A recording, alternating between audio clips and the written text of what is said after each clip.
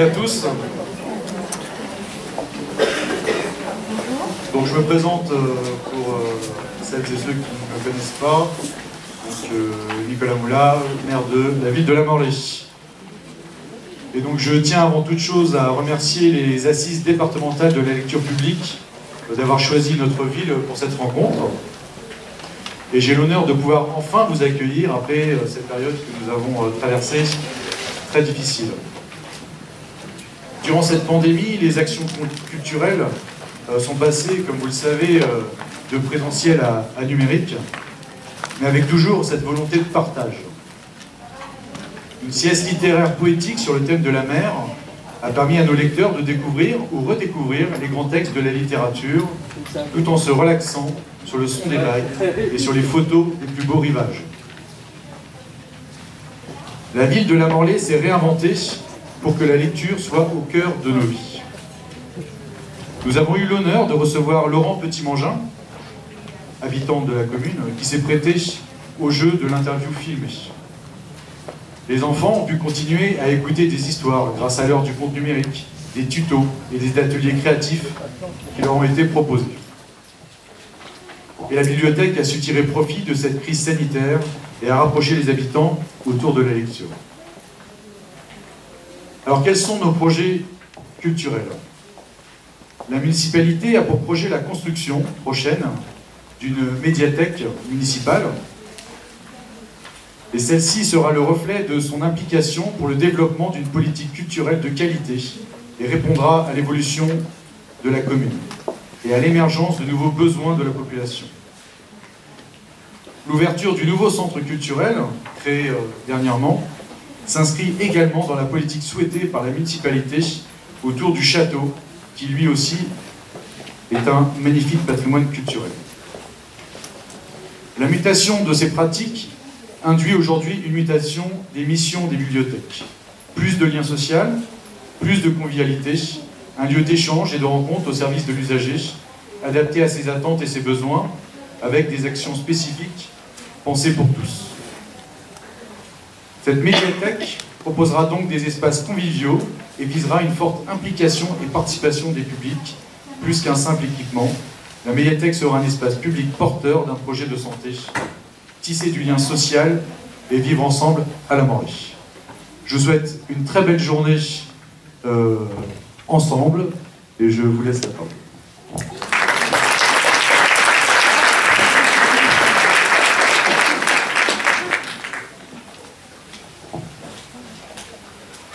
Monsieur le maire, mesdames, messieurs les élus, et je crois savoir que vous êtes nombreux, mesdames, messieurs les bibliothécaires, toujours présents d'année en année, mesdames, messieurs en votre grade et qualité, mesdames, messieurs. Permettez-moi, dans un premier temps, d'excuser euh, Nadège Lefebvre, notre présidente, retenue par d'autres obligations, mais chacun sait bien sûr son attachement à ces journées. Permettez-moi aussi de rendre un hommage appuyé à Christine Froyard, qui était euh, vice-présidente à la culture sur le précédent mandat. Et c'est elle, avec les équipes de la MDO, qui a initié ces journées qui vous plaisent beaucoup, puisque chaque année vous y revenez.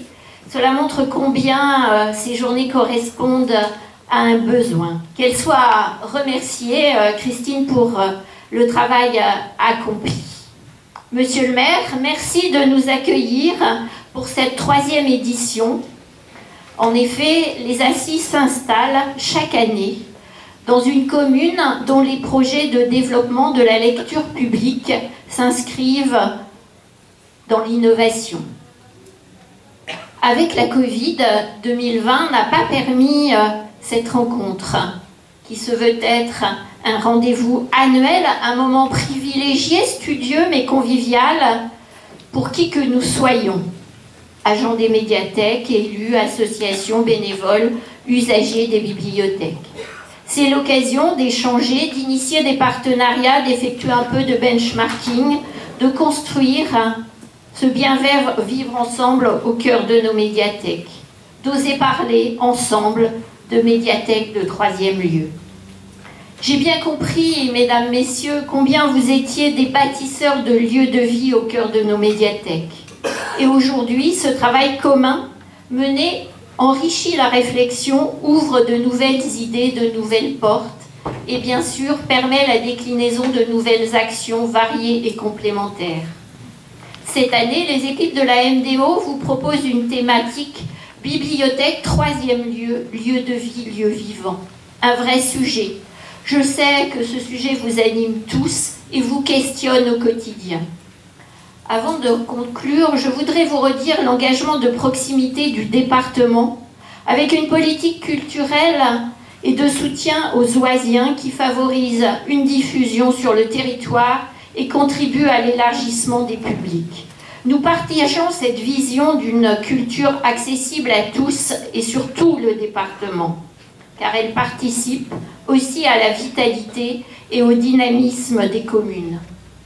Qui mieux que la lecture publique peut nous permettre de réduire les inégalités sociales et de réduire les fractures? Si bien sûr rien n'est jamais acquis, si bien sûr rien n'est jamais inéluctable, la lecture publique reste un combat à mener pour nos générations d'aujourd'hui et de demain. La lecture est une liberté, une voie vers le bonheur. Lire chaque jour est certainement une oxygène de notre esprit. Thucydide disait le secret du bonheur, c'est la liberté. Et le secret de la liberté, c'est le courage. Alors, ayons le courage de porter nos convictions. C'est certainement ce qui vous unit, ce qui nous unit aujourd'hui et qui nous réunit ici à la Morlaix à travers cette journée d'échange et de réflexion. Même si la lecture est souvent un acte individuel, elle est aussi une aventure collective, une relation humaine. Défendre la lecture publique, c'est nourrir le progrès et la citoyenneté. La lecture n'est que plus belle lorsqu'elle se partage.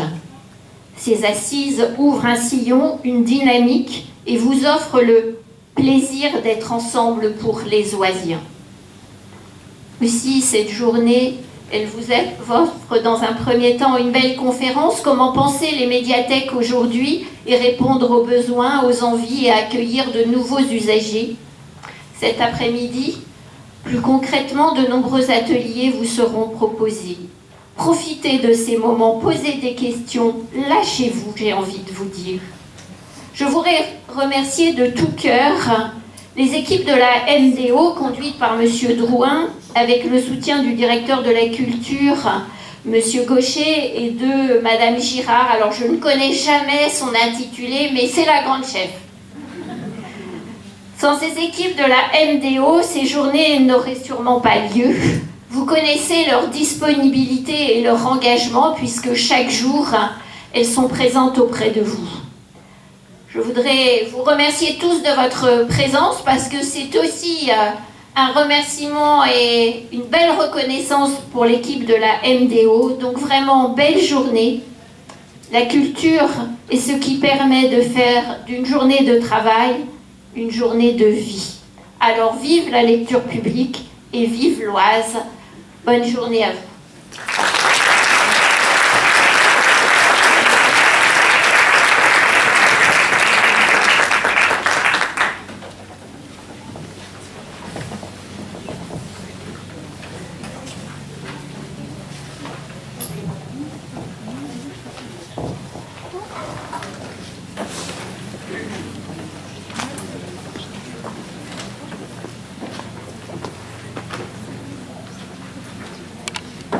Bonjour à toutes et tous. Je vais meubler pendant que le petit problème de batterie est résolu. Euh, Madame la vice-présidente du conseil départemental, Monsieur le maire de la Morlaine, Mesdames et Messieurs, élus ou bibliothécaires, élus et bibliothécaires souvent, euh, ben, je vous remercie euh, à mon tour, au nom de la médiathèque départementale de l'Oise, pour votre présence. Vous êtes plus de 100, 120 je crois avoir fait le déplacement aujourd'hui, ce qui démontre, euh, s'il en était besoin, votre attachement à la lecture publique et votre implication dans euh, le développement et la mise en œuvre de politiques culturelles sur vos territoires. Je voudrais remercier très chaleureusement euh, mes équipes les agents de la MDO qui ont travaillé d'arrache-pied pour monter cette journée, pour en organiser la logistique et pour préparer les ateliers et les mini-conférences que vous pourrez suivre tout au long de l'après-midi. Mais avant ça, pour garder la journée dans le bon ordre, on va commencer par le matin. Euh, et je vous propose donc d'écouter euh, une conférence. je vais vous présenter les deux intervenants. Celui qui règle actuellement euh, l'ordinateur, c'est Gildas Carillo. Il est responsable de la médiathèque Phileas Fogg à Saint-Aubin-du-Pavail, dans l'île-et-Vilaine.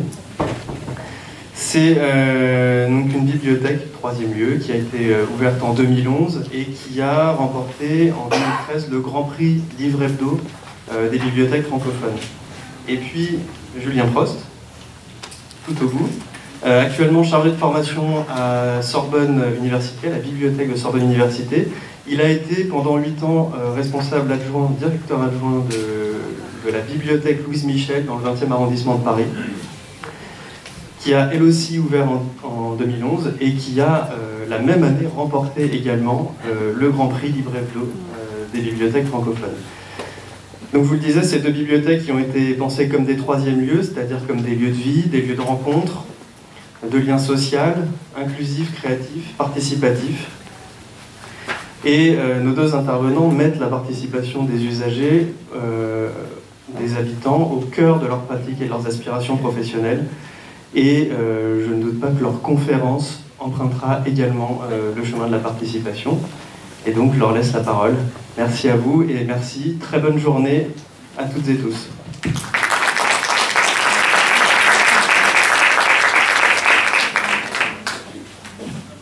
Hop, euh, vous m'entendez bien Ok. après avoir réglé un petit peu la technique, on est prêt. Allez, mise à jour.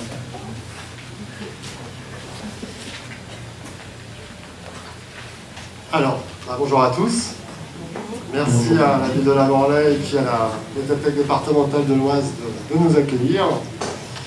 Euh, moi-même venant donc d'une petite commune située près de la capitale bretonne, et puis mon collègue Julien venant de la capitale tout court. Euh, donc aujourd'hui la thématique de la journée c'est bibliothèque euh, troisième lieu, lieu de vie, lieu vivant. Et donc ça ramène en fait Julien et moi près de 10 ans en arrière, puisque en fait comme M. Jourdain faisait de la prose sans le savoir. Euh, à Louise Michel et à Phileas Fogg, on faisait du troisième lieu il y a dix ans déjà, nous-mêmes sans le savoir.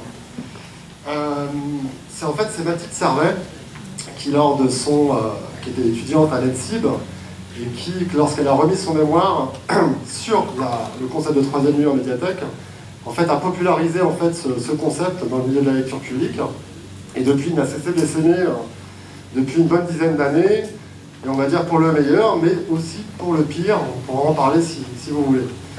Euh, puisque cette définition en fait de, troisième lieu est vraiment polysémique. Euh, on peut parler aujourd'hui en fait de lieux, de tiers-lieux culturels, de tiers-lieux euh, agricoles, de tiers-lieux numériques, de tiers-lieux à vocation entrepreneuriale, associative, solidaire. Il y a tout type de tiers-lieux aujourd'hui. Donc nous, ce qui nous anime aujourd'hui, évidemment, c'est les médiathèques tiers-lieux. Et euh, on a décidé en fait avec Julien, pour cette matinée, de scinder la, notre présentation en deux. C'est-à-dire que pendant une petite heure, là, ou une heure, on va vous faire une, présentation de, notre expérience et nos analyses, de nos travaux. Et puis dans la deuxième partie, on va essayer de passer à quelque chose de plus interactif avec vous, euh, avec des échanges qu'on espère euh, riches et fructueux. Et donc pour finir, on a souvent, donc vous l'avez compris, on a nos, établissements, c'est un peu l'alignement des étoiles qui a fait ça, euh, ont été créés en même temps, ont été primés en même temps. Et donc on a souvent comparé nos deux établissements euh, avec le prisme un petit peu caricatural de la médiathèque de campagne que je représente et de celle de la ville que représente Julien. Euh, et donc on a décidé en fait de, se présenter à vous ce matin un peu comme le, rat des villes et le rat des champs. Euh, et donc, euh, je vais d'abord vous présenter Julien Le Villes. Et donc, Julien, il a commencé d'abord sa carrière en travaillant dans les musées. Et ensuite, il a fait un, détour pendant quelques années aussi dans, le secteur jeunesse d'une grande bibliothèque. Et puis, il a, il atterri dans l'équipe de Louise Michel. Et là, ça a été un peu comme moi. Dix années de, vraiment d'expérience dans tous les sens, de, folie, d'aventure, d'échecs, de, tests, de bidouilles, on en parlera aussi. Et puis, depuis, il a quitté Louise Michel et il est maintenant travaille en BU, dans l'univers mystérieux de la bibliothèque universitaire. Mais comme le dit Julien, ce n'est peut-être qu'un détour aussi. Et bah, je te passe la parole. Merci pour cette présentation, Gildas. Et donc, Gildas, il n'a pas toujours été un rat des champs, il a aussi été rat des villes au départ, puisqu'il a passé une partie de, sa vie en tant que médiateur numérique. Euh, donc, pardon, animateur multimédia dans le quartier de Rennes, euh, avant de, poursuivre une carrière d'amour et d'eau fraîche euh, en tant qu'artiste plasticien. Et puis, en 2006, il a eu le coup de foudre avec le petit village de Saint-Aubin-du-Pavail, qui lui a permis de réaliser une médiathèque troisième lieu qui soit participative, créative et, euh, avec une belle carte de do it yourself. Donc on va vous parler, euh, on va vous parler de, troisième lieu. On va pas revenir sur les théories, mais vous allez voir que si jamais vous lisez après euh, Oldenburg ou des, résumés de Oldenburg, parce que Oldenburg c'est un peu chiant à lire, quand vous relirez des résumés de Oldenburg, vous verrez que ça coche pas mal de, des cases. Et donc l'idée c'est qu'on a trois axes à cette présentation. Euh, qui va être donc double à chaque fois. Il y aura des exemples de Phileas Fogg à Saint-Aubin-du-Pavail et des exemples de Louise Michel à Paris. Euh, les trois axes qu'on a retenus, c'était euh, l'idée que c'était un lieu d'abord accessible, puis un lieu d'habitué, et enfin un lieu d'expérience.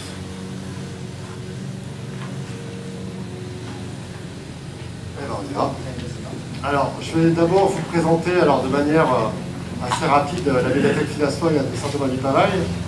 Donc nous, on est situé à une vingtaine de kilomètres euh, de Rennes. Et à l'origine, c'est un village d'à peine 800 habitants quand je suis arrivé. Et aujourd'hui, on est près de 10 000 parce qu'on a fusionné avec deux autres communes. Donc on se retrouve sur une commune avec trois médiathèques. Euh, on est devenu la petite médiathèque de notre commune, comme ça. Et donc il faut savoir que quand j'ai commencé, donc on était vraiment 780, euh, voilà. donc vous avez vu le professionnel, vous l'avez devant vous il est tout seul, il à temps.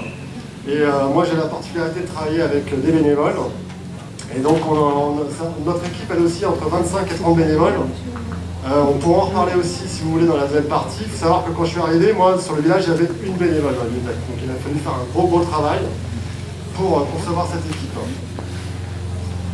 Et donc je vais vous montrer un, petit teaser qui a été fait sur la médiathèque par une stagiaire, Elodie Loret, qui a fait ce petit teaser il y a, il y a trois ans. Euh, on a la, particularité à Saint-Aubin d'accueillir tout type de stagiaires. Et donc Elodie était en école de cinéma, elle souhaitait faire son stage à la médiathèque pour plein de raisons, parce qu'on y fait beaucoup de choses. Et donc elle nous a réalisé ce petit teaser qui a été tourné entièrement sur les horaires d'ouverture publique. Et avec les, les petits moyens qu'on a, on a un peu bricolé tout ça. Vous allez voir. Merci de la tondeuse. Mm. C'est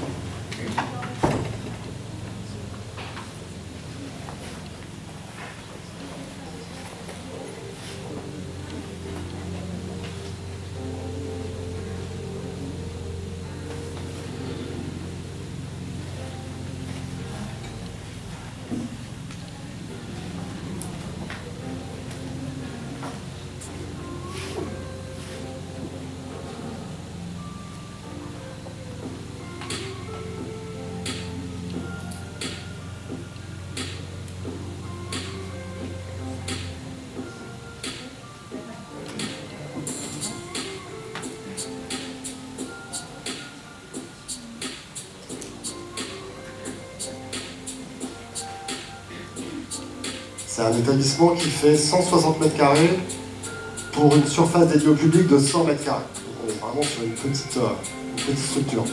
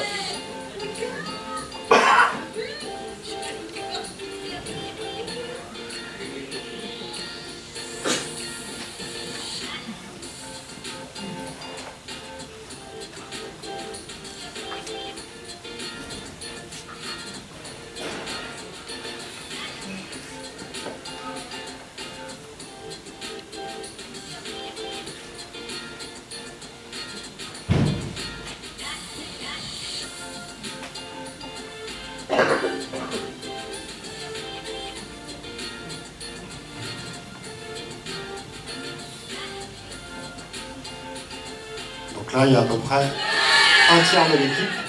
On va tous la rassembler. vous avez les légumes sur la fin, donc on a, on a la chance d'avoir un jardin et ça, pour le lait, c'est vraiment important, mais outre l'aspect, euh, c'est pas juste pour le film, je passe vraiment beaucoup l'aspirateur dans la structure parce qu'on a une personne qui fait l'entretien, mais comme on fait beaucoup de choses, on va vous l'expliquer aussi à Louise Michel, c'est pareil, euh, il faut aussi passer euh, l'aspirateur pour éviter à la collègue de revenir tout le temps. Le troisième lieu commence à l'aspirateur. Voilà, c'est des choses très pratico-pratiques. Alors, je remets. Je crois que ça va être à toi, Julien. Alors, après euh, Château-Giron et la Bretagne, je vous transfère à Paris, dans le 20e arrondissement de Paris, donc dans l'Est parisien. Et là, ce que vous avez, c'est une petite photo du quartier de la bibliothèque. Euh, là où vous voyez Jardin Casque d'Or, le petit arbre au milieu, la bibliothèque est juste à côté. Et donc ce petit rectangle carré bizarre rouge, c'est ce qu'on définit comme étant notre zone de chalandise, c'est-à-dire en gros les 500 mètres autour de la bibliothèque. C'est-à-dire que 96% je crois des usagers de la bibliothèque viennent de ce carré-là. Et ce carré-là, il représente 50 000 personnes. Il y a 50 000 habitants dans ce petit carré. Ouais, ça, permet bien de se fixer aussi le, truc, parce que ça fait du monde. Ça fait du monde. Euh, ce qui est important, attends juste une petite seconde, ce qui est important de comprendre aussi, c'est que c'est un quartier, euh, le 20e arrondissement, c'est un quartier qui se transforme depuis une quinzaine d'années.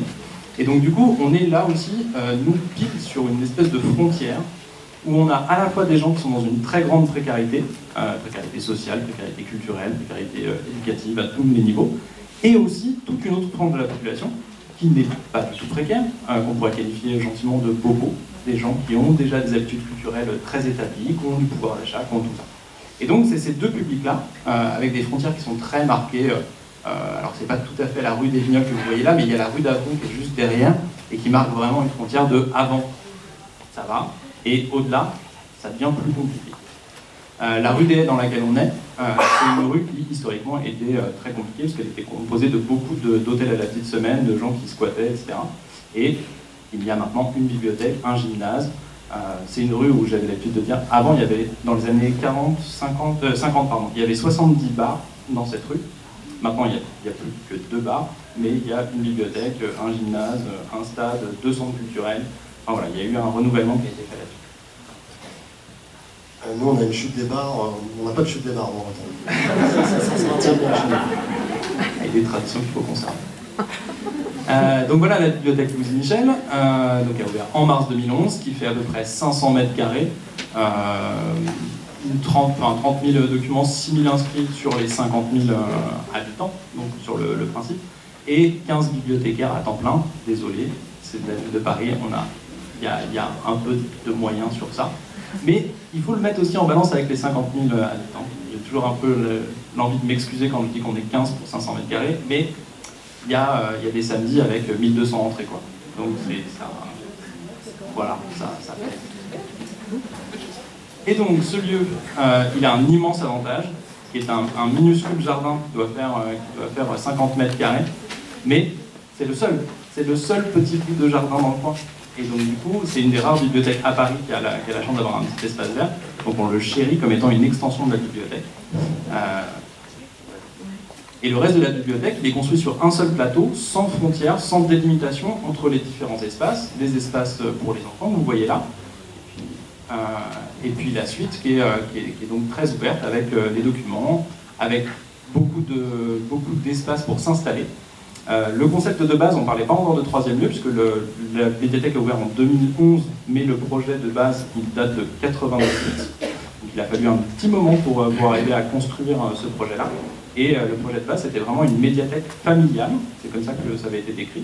Nous, quand on a ouvert, on a un peu glissé vers une médiathèque familière, on y reviendra. Et, et en fait, l'idée de toute façon, c'était de faire une médiathèque de poche, c'est-à-dire un peu de tout pour chacun. S'adapter aux besoins de chacun. Bibliothécaire à l'écoute pour bonne attention. Alors, euh, on avait beaucoup de choses à dire euh, cette matinée, il a fallu condenser euh, nos discours à tous les deux. donc, on a, on voulait vous parler de, l'expérience qu'on tire donc de nos travaux, de, nos 10 ans dans un tiers-lieu. Il faut savoir qu'en fait, on essaye que ce soit un lieu pour chacun plutôt que pour tous. Et donc, il faut accueillir tout type de public et tout type de pratique. Et donc, ça veut dire que l'aménagement du lieu doit sans arrêt bouger. les choses ne doivent sûrement pas rester figées. Et là, moi, j'ai choisi de vous prendre l'exemple de l'espace multimédia qui est volontairement assez spacieux euh, par rapport à la petite surface de la médiathèque, parce que le numérique prend une place vraiment, vous savez, très importante dans nos vies maintenant depuis pas mal de temps. Donc on a choisi d'accorder un grand espace, on a, on a 6 ou 7 postes en tout, plus des jeux vidéo, etc. Et donc cet espace multimilieu, multimédia, pardon, euh, à part euh, les assises et les tables et les ordinateurs, on y pratique toutes sortes de choses et pas que le numérique. Donc le, plus classique en fait, c'est euh, des ateliers qu'on fait, donc, qui sont souvent animés par des bénévoles. Là, vous voyez, ça s'adresse à, des retraités et c'est un retraité qui anime l'atelier euh, d'initiation à l'informatique. Mais on peut aussi faire de la couture. Ça fait euh, dix 10 ans à peu près qu'il y a un atelier de couture pour adultes qui avait lieu hier soir d'ailleurs, c'était la reprise, qui a lieu dans l'espace multimédia. Pourquoi? Parce qu'en fait, on a prévu de grandes tables. L'assise est très confortable, les plans nos travail sont très larges et il y a des prises partout, donc c'est tout bête. Donc ça sert aussi à ça. Et puis, euh, on peut aussi délocaliser une partie du multimédia. Là, vous voyez du jeu vidéo. On a simplement mis la télé et la console. On a une Xbox euh, dans, dans ce qu'on appelle, nous, le salon. Et euh, ça côtoie l'atelier d'art plastique qui est juste à côté. Et tout ça est ouvert au public en même temps. On fait du prêt de bouquins et de, DVD et tout le reste en même temps. Et tout ça fonctionne très très bien et le public se mélange. Euh, la partie multimédia aussi, je, parlais du bar tout à l'heure, elle a été conçue sur une partie, elle sert de comptoir.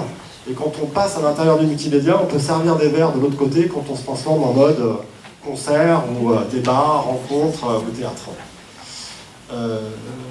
Et donc, comme les garçons s'approprient aussi beaucoup les spatulières et les consoles, de temps en temps, on supprime les consoles aux garçons pour les laisser aux filles. je te passe la parole. Mais ouais vous allez voir qu'on fait un peu la même chose aussi.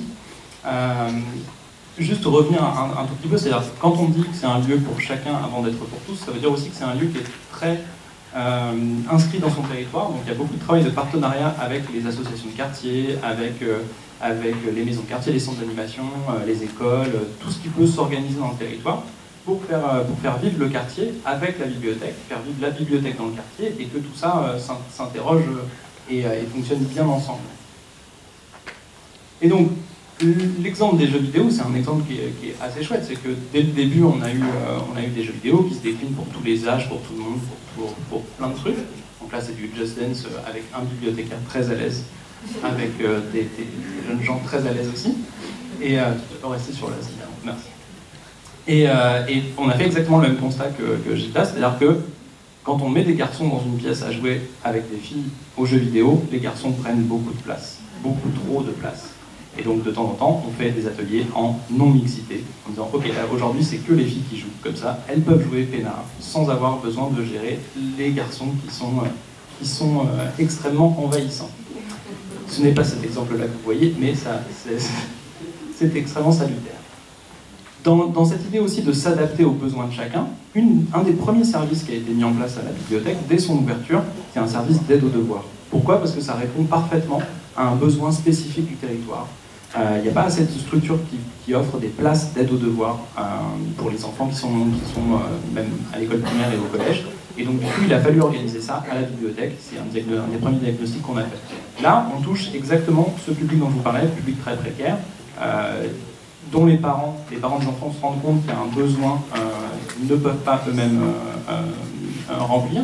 Et donc, ils viennent chercher à la bibliothèque ça. Ça, ça s'organise avec des bénévoles et, ça nous permet d'organiser ça. C'est, je pense, ouais, c'est une, une, un des services les plus anciens qui est toujours en activité aujourd'hui. Et en parallèle Alors, je te repasse la parole, Julien, mais je fais un petit égard parce que nous aussi, on, pratique la de devoir depuis de nombreuses années. Alors nous, on a arrêté parce que pour l'instant, on n'a plus de bénévoles pour le faire, mais Julien a tout à fait raison. Et nous, on, a, on faut dire, sur un territoire assez riche. On n'a pas la, on, a des gens en précarité bien sûr, mais ça représente peu de monde. Mais on a un public euh, très demandeur d'aide aux devoirs, de, parents qui sont perdus aussi, euh, notamment les familles monoparentales qui viennent nous voir pour euh, nous demander de l'aide. Et c'était exactement la, même chose, c'était vraiment instauré dans, le fonctionnement pendant très très longtemps, et ça se passe de manière très très fluide. Voilà, on prête la structure à, une personne qui a toute la documentation, la, connexion Internet, et qui reçoit des élèves. Et, dans le, pareil, dans, le service un peu historique de la bibliothèque, depuis l'ouverture, il y a un ciné des habitants, donc un ciné-club participatif, où les habitants sont invités à proposer une, programmation euh, qui a lieu tous les mois. C'est un exemple dont on parlera peut-être euh, peut plutôt à la fin, mais un exemple un peu de participation ratée, malgré sa longévité. Euh, ça fait 10 ans que ça existe et, et, ça fonctionne toujours, il y a toujours des gens, etc. Mais c'est un exemple un peu raté, mais qui s'adresse à l'autre type de public, le public un peu bobo, parce que c'est un ciné-club qui ne va pas diffuser le dernier Marvel, mais plutôt des films d'auteur et des films noirs, et, euh, qui va être l'objet d'un peu... C'est beaucoup un ancien, un retraité euh, enseignant, euh, un prof de ciné, qui, fait la programmation et qui laisse peu de place aux autres. Et voilà, ça existe, et, et c'est bien aussi comme ça. Les besoins de chacun. Un lieu chaleureux pour les habitués, mais pas que. Dans l'idée, donc, après euh, avoir travaillé un peu sur, sur, euh, sur l'accueil, en fait, non. En fait, on n'a pas travaillé sur l'accueil. L'accueil, c'est au centre de tout. L'accueil, c'est euh, notre posture principale, c'est notre cœur de métier. Et tout ce qui gravite dans la bibliothèque, que ce soit les services, les animations, les collections, tout ce qu'on va mettre en place, tout ça est au service d'un seul objectif qui est de faire en sorte que les gens se sentent bien dans le lieu qu'ils fréquentent. Et, et, donc du coup, l'idée c'est vraiment de créer ce lien de quartier. Qu'est-ce qui est mieux pour créer du lien que de partager à boire et à manger? Je, vous demande, mais je crois qu'il n'y a pas de mieux truc, à part le baby-foot, mais, euh, euh, voilà. Donc cette posture-là, cette posture d'accueil, elle a été travaillée dès le départ comme étant un accueil très individualisé. Euh, dès le début, on s'est dit, de façon très empirique, avant de structurer les choses, on s'est dit qu'il fallait accueillir vraiment les gens individuellement, prendre en compte les besoins de chacun, prendre le temps aussi de discuter euh, autour d'une tasse de café, autour d'un bouquin, euh, se demander des nouvelles et, rentrer ainsi dans, une relation vraiment de, personne à personne et pas seulement d'agent de la bibliothèque derrière sa banque d'accueil à, euh, à, de ce service. Et donc cet anonymat qui finalement est très dommageable quand on veut créer du lien dans un quartier, on a essayé de faire tomber. Le faire tomber, ça veut dire aussi bah, parfois euh, échanger sa place avec les enfants, euh, que ce soit les enfants qui, euh, s'occupent de la bibliothèque. c'est pas toujours tout à fait évident, il y a parfois des, petites frictions. mais quoi qu'il arrive, l'idée même de mettre l'accueil au centre de tout, c'est notre principal travail, c'est le cœur de notre métier, et c'est quelque chose sur lequel on accorde beaucoup d'importance.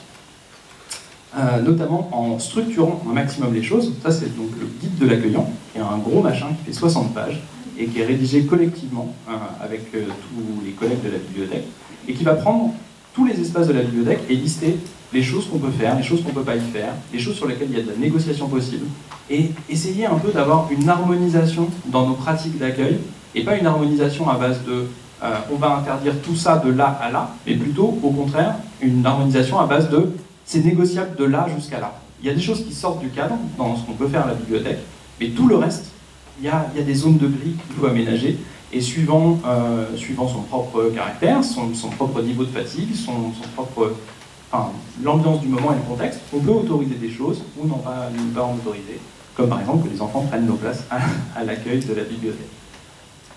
Et ça, c'est quelque chose que je vous encourage à faire parce qu'on ne s'est jamais concerté. Il hein. faut savoir, avec Louise Michel et Phileas c'est ouais. Toujours l'alignement des planètes, on fait beaucoup de choses similaires. Et nous, on s'amuse à faire ça aussi, c'est très simple, à des moments, un moment un peu plus calme. Les enfants qui sont habitués, hop, on les fait passer derrière. Ils adorent, comme ils disent, faire payer les livres. Mais ça commence par là, c'est des, toutes petites choses qui sont vraiment importantes. Alors, euh, nous, on a histoire de dire, que ce soit Michel ou chez nous, au début, Julien, je pense, là, vous l'a fait comprendre, c'est que avant de, parler de nos collections, de, la biblioéconomie, etc., pour faire du participatif, pour faire de l'inclusion, pour faire du troisième lieu, il faut d'abord privilégier vraiment l'usager à nos bouquins. C'est vraiment primordial. Et donc, cette petite slide, un peu provocatrice, je vous l'accorde, euh, pour vous expliquer d'où ça part, en fait, euh, avec euh, les, plus de 15 ans maintenant de bibliothèque, bibliothécaire que j'ai accumulé en expérience. J'ai fait ce, petit dessin, pourquoi? Alors, désolé, il y a une majorité de femmes, mais la, représentation de la bibliothécaire, vous savez, il y a des études de fait que vous avez à Paris, c'est une, femme avec un chignon, sévère, etc. C'est des études de la jeunesse. Hein. Donc, en tout cas, on est vu comme souvent le gardien du temple, ce, temple de la culture, etc., garant de notre science qu'est la biblioéconomie, et on a quand même plus ou moins une figure d'intello vis-à-vis du, public. En tout cas, nous travaillant dans un territoire un peu rural, etc., c'est l'image qu'on a. Et en face, on a des usagers qui sont souvent ce que j'appelle des, experts profanes, et qui ont des savoirs mobilisés. Donc en fait, c'est des gens qui sont porteurs de eux plein aussi de connaissances, qui ont plein de choses. Et on s'attache, nous, à, Saint-Thomas-du-Pavail, et je pense que c'est pareil à Louise Michel, à en fait faire rentrer aussi une partie de nos usagers dans nos collections, notamment les documentaires, en tant que bibliothèque vivante. Euh, et donc de travailler avec eux sur des projets, euh, de faire appel à eux sur, par rapport à leurs connaissances, et euh, ça participe après aussi à cette notion d'empowerment, où quand les gens s'emparent en fait de, certains savoirs, de certaines pratiques, ils vont en fait après la diffuser aux autres. Et ça fonctionne très très bien. Mais c'est un long travail de ça, il faut apprendre à connaître ses usagers, à connaître ses partenaires, comme on disait tout à l'heure, hein, la notion de partenariat est très, très importante pour travailler avec eux. Et euh, attention, spoiler, ça va venir, notre outil principal, je pense à l'usine Michel et nous, c'est un outil qui est très compliqué à gérer, c'est la conversation. Et là, voilà, tout ça pour en arriver là. Euh, j'ai rajouté cette slide-là, et en fait, c'est en, lisant un article où Julien était cité, et son travail à l'usine Michel, qui parlait de de la conversation. Et moi, en fait, je le cite depuis aussi des années, euh, notamment dans les formations que je mène aussi. Euh, et j'ai eu beaucoup de mal euh, au début à faire comprendre ça aux élus avec qui je travaillais, qui étaient pourtant, qui m'ont laissé carte blanche à moi et puis après l'équipe de bénévoles pour monter le fonctionnement de la médiathèque. Mais le maire de l'époque me disait passez quand même beaucoup de temps à parler. Vous travaillez quand en fait Et je lui expliquais que tous ces temps d'ouverture publique, en fait, moi je préférais ranger les bouquins avec l'équipe plus tard. En tout cas, on accorde tout le temps d'ouverture publique, on n'est pas collé derrière notre banque de prêts, on est face aux usagers et on va les rencontrer, discuter avec eux, créer une interaction et de temps en temps se passe quelque chose entre un usager et nous et on va construire un projet à partir de là.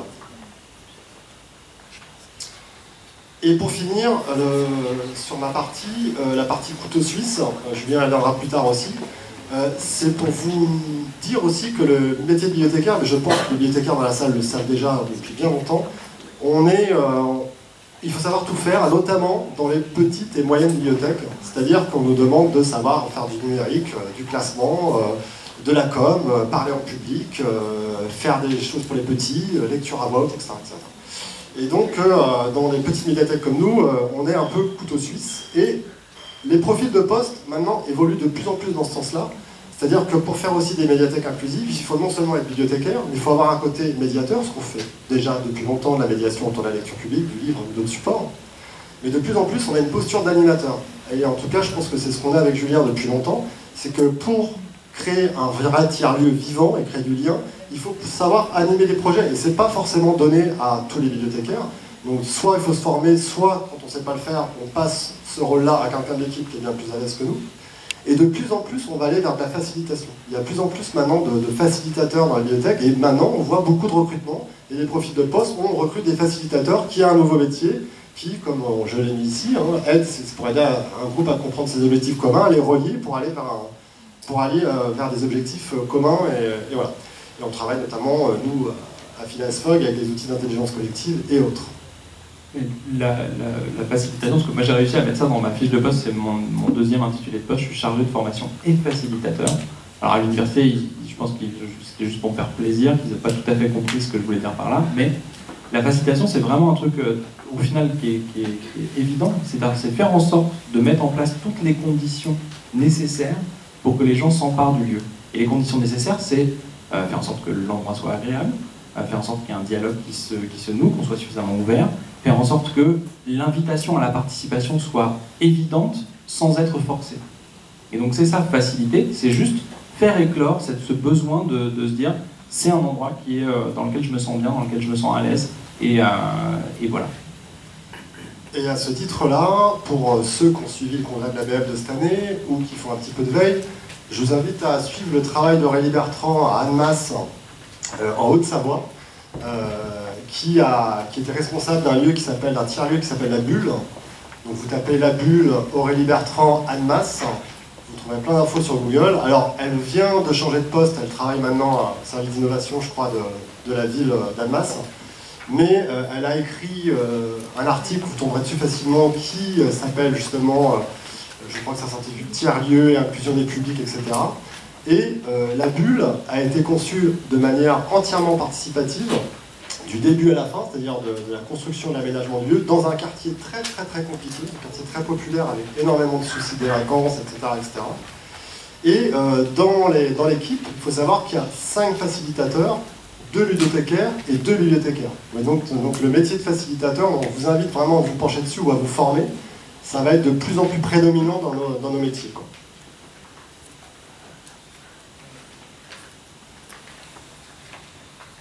Comme lieu de convivialité, de retrouvailles et de partage, on va reparler un peu de cet accueil.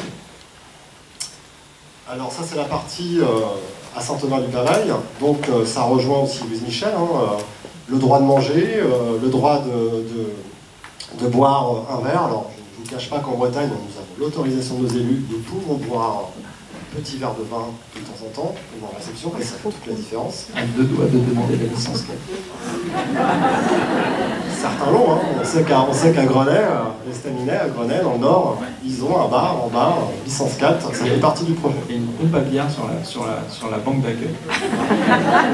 voilà de tellement magique.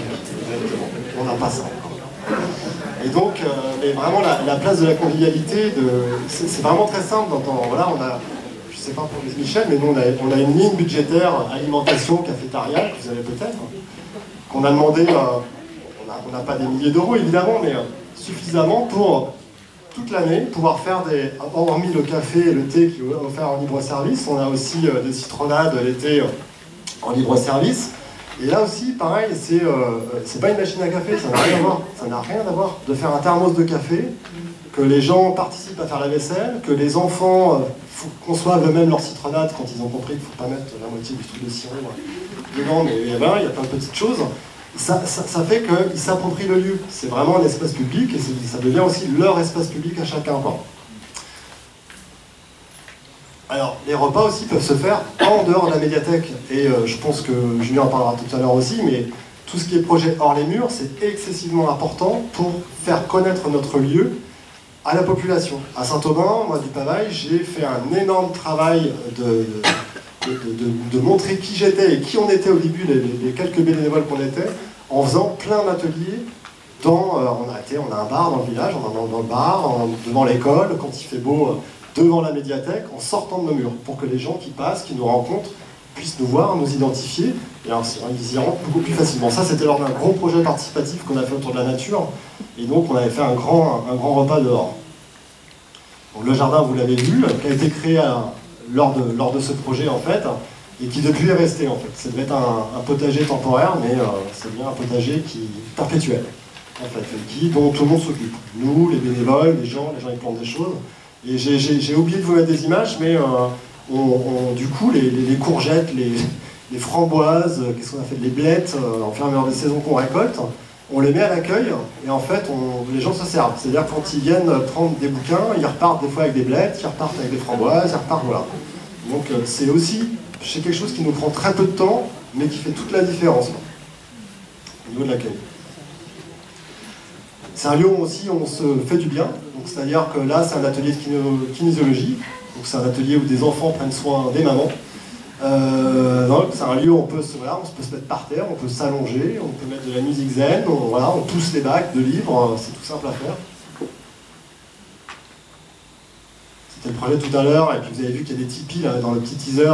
Ben voilà, c'est une bénévole qui nous a fabriqué trois bambous, un, un, drap rouge, et voilà, le, tipi, euh, c'est le lieu qu'on met, on le met à l'intérieur aussi des fois. Et euh, c'est le, petit coin cachette des enfants. L'inévitable table thématique qu'on peut aussi mettre dehors. Hein. Là, ça s'adressait, voilà, c'était tout notre projet autour du bien-être, du yoga, du shiatsu, etc. Alors ça, on l'a dit, oui, on a des visiteurs inopinéens. C'était un, un, lama qui s'est enfui d'un cirque et euh, qui était venu nous voir. Donc ça avait, créé pas mal de, pas mal de, rire à la, médiathèque. Et voilà, on a, on a pas mal d'interactions avec les animaux. C'est l'avantage d'être en, ruralité. Je pourrais voir des histoires de chauves-souris, de couleuvres. Voilà, c'est pas le même public qu'à Paris. C'est l'activité du territoire. Et ouais, bah, un, peu les mêmes histoires en fait que, que, que place sur une échelle plus, plus urbaine finalement. Euh, il faut autoriser la nourriture à la boisson, ne serait-ce que parce que euh, les enfants, quand ils sortent de l'école, euh, ils rentrent chez eux et puis ils passent à la bibliothèque, ce qui est hyper régulier, donc il faut qu'ils prennent le goûter. Enfin, il est 4h30, on prend le goûter, c'est normal. Et donc il faut qu'il y ait cet espace qui soit dédié. donc la règle à la bibliothèque, c'est tu peux boire et manger ce que tu veux du moment que ça n'embête personne. On a des, ados qui se sont fait livrer des pizzas, ils les ont mangés, mais dehors, parce que c'était trop, compliqué. Les gros kebabs qui sentent très fort, c'est plutôt pareil dehors ou sur la terrasse, là où, euh, là où on peut en profiter tranquillement. Mais un petit goûter, une petite compote, des gâteaux, euh, voilà. Ça, c'est à la bibliothèque. Et si tu fais des miettes, si tu salis euh, l'endroit sur lequel tu manges, bah, il y a une balayette à l'accueil, il y a un petit kit, et, et on t'invite à, nettoyer derrière toi. Et ça fonctionne très bien. J'avais une slide tout à l'heure, une, image de, à l'accueil, il y a une mugothèque. Et donc, on offre du thé et du café euh, aux gens qui viennent à la bibliothèque. passer avec le chariot de thé quand euh, il est 17h30, que c'est l'hiver, que la médiathèque est, blindée et que du coup ça, monte en tension parce que tout le monde est les uns sur les autres, alors moins euh, dans un contexte Covid évidemment, mais dans, un contexte normal, passer avec le petit chariot de thé et faire le tour de la bibliothèque, c'est un formidable outil de contrôle de, cette tension et ça permet de faire redescendre tout le monde en pression et c'est parfait. Donc ça, on offre ça. Effectivement, on a une petite ligne de budget là-dessus. Euh, le budget animation pour la bibliothèque Louise Michel, c'est 2000 euros pour l'année, à peu près. Et sur ces 2000 euros, on réserve 300 euros pour l'année pour la nourriture et les boissons. Donc on fait, c'est pas, pas incroyable. On fait aussi beaucoup avec ce que les gens nous apportent. Mais euh, on fait du thé à la menthe avec la menthe qu'on récolte dans le jardin. Euh, le café, il est apporté aussi par, les gens qui fréquentent la bibliothèque. Et, et voilà. Et ça, je rebondis sur ce que tu dis, parce que c'est quand tu crées les, conditions d'accueil idéales, comme on, parle, c'est vrai qu'après les gens vous redonnent beaucoup. Nous c'est pareil, les gens se mettent à amener des gâteaux qu'ils ont faits, des bonbons, voilà, donc euh, ils se créent une petite, euh, petite bande d'accueil de gourmandise. Alors nous on fait des, on fait des tournées euh, surprises de, bonbons Haribo, de choses comme ça aussi. Mais on prévient jamais. Voilà, donc des fois les gens disent Ah c'est aujourd'hui Non, non, ce sera pas aujourd'hui. du coup ça crée cette effet aussi sympa. Euh, tu peux me passer directement à Stéphane. Et du coup, tous ces moments où aussi on va partager, c'est des moments euh, hyper conviviaux et qui servent aussi un, un, objectif un peu plus secret, qui est l'objectif de la participation des publics. Parce que quand, vous parlez, quand vous parlait de, facilitation tout à l'heure, euh, la première étape pour faire participer, pour faire en sorte que les gens se sentent bien et suffisamment à l'aise pour proposer des choses, c'est justement qu'ils se sentent bien dans ce lieu-là, qu'ils se sentent à l'aise, qu'ils se sentent écoutés et, comme vous en partiez, réellement de la communauté que dessert la bibliothèque. Et euh, ça, euh, boire des coups ensemble, que ce soit là du jus de ou, euh, d'autres choses plus ou moins alcoolisées, ça, participe vraiment grandement à ça. et donc du coup, dans les, participations, ça c'est un, exemple de participation. C'était un atelier cocktail qui était proposé par des lectrices de la bibliothèque, un cocktail de fruits et tout ça. sur le principe, on n'a pas été les chercher pour ça. On n'avait pas l'idée de faire un atelier cocktail. Je pense que ça ne nous avait pas du tout traversé l'esprit. Mais à force de discuter avec elle, à force de, tisser du lien, justement, ben un jour, elles se sont dit, en fait, ouais, j'ai envie de faire ça, et à quel lieu je pense en premier pour faire ce, truc-là? Bah, La bibliothèque, en fait, parce que c'est le lieu dans lequel je me sens bien et dans lequel je peux proposer des trucs. Pareil pour, euh, pour ce monsieur. Ce monsieur, c'est Monsieur Wolf. Alors, c'est un habitant du quartier, et c'est notre jardinier en chef. C'est Lui, il vient depuis l'ouverture de la bibliothèque, c'est un monsieur très discret, euh, avec qui on peut échanger un peu et tout ça. Mais il est passionné de jardinage, seulement il habite dans le 20e arrondissement, dans un immeuble. Donc lui, il a deux, petites, euh, deux, trucs sur son balcon, et c'est tout. Et donc il est très triste de ça. Et il a vu qu'on avait un jardin. Mais il lui a fallu deux ans pour oser venir nous voir. Et en vrai, on l'a vu, nous. On l'a vu tourner autour du jardin et se poser des questions et tout ça. Mais on n'a rien dit. On n'a pas fait un grand panneau. Venez nous proposer vos actions de participation, etc. Parce que lui, du coup, ça fait 10 ans qu'il vient à la bibliothèque et ça fait 8 ans qu'il anime le jardin. Et s'il n'y avait pas eu cette première impulsion, cette première étincelle qui venait de lui-même, et eh ben peut-être que ça aurait duré moins longtemps. Et ça dure encore d'ailleurs, parce que j'y étais le week-end dernier et, euh, il est venu euh, fêter les 10 ans de la bibliothèque avec nous et c'était euh, extrêmement. Enfin, il fait presque partie de l'équipe Mais voilà, il a fallu que lui s'approprie le lieu et qu'il nous juge suffisamment cool, suffisamment, euh, suffisamment euh, euh, intéressant pour qu'il vienne nous voir et qu'il dise Hé, le jardin, vous n'êtes pas très fort pour l'entretenir, j'ai remarqué, et donc, ce qui est vrai. Et donc, du coup, moi, je pourrais peut-être vous proposer des trucs parce qu'en fait, voilà, on peut faire plein de choses, c'est chouette. Alors toujours avec la tentation de sa part de dire rajoutons une couche de culture parce que c'est une bibliothèque. Donc si vous voulez, on peut faire, euh, on peut faire des liens entre planter des, planter des trucs et, euh, et, des livres.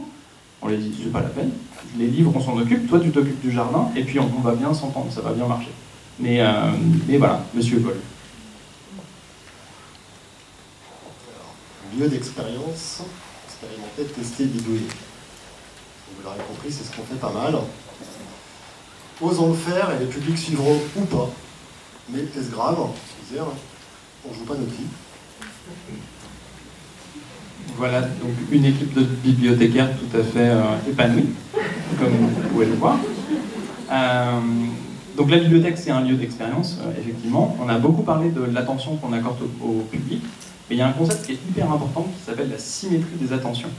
C'est-à-dire, très concrètement, très simplement, euh, si dans une équipe ça se passe pas bien, si les gens sont traités mal, euh, si euh, s'il y a quelque chose qui est très descendant et qui est, compliqué, on ne peut pas faire de la participation avec le public. Il y a un, paradoxe qui rentre en compte. Je pense qu'on a tous déjà fait cette expérience-là, de rentrer dans un lieu, dans un magasin, et de sentir immédiatement qu'il y avait un problème dans l'équipe, où les gens, bah, on n'est pas bien accueillis, ça se passe pas bien. Donc il y a cette nécessité, pour avoir un accueil de qualité, pour avoir un service de qualité, de bien penser aussi ses relations en interne, de bien penser son organisation interne et d'avoir cette réflexion qui prenne vraiment une, place nécessaire. Euh, le premier, la première pierre sur laquelle on, bâtit ce truc-là, pour Louise Michel, c'est de développer euh, ce qu'on appelle la culture du test, ou la culture du vas-y, on s'en fout. Et donc, qu'est-ce que ça veut dire? C'est que on est bibliothécaire, on ne fait pas ni de chirurgie cardiaque, ni de transport de déchets radioactifs euh, par camion. Si on se trompe, si on échoue dans les projets qu'on fait, c'est pas grave. On aura perdu un peu de temps, peut-être un peu de budget, mais vous avez vu que les budgets sont pas incroyables non plus. C'est pas grave. Et échouer, ça fait aussi partie des choses qui sont nécessaires pour apprendre. Et donc, vas-y, on s'en fout. Viens, on fait un truc de com en mode années 80 bizarre.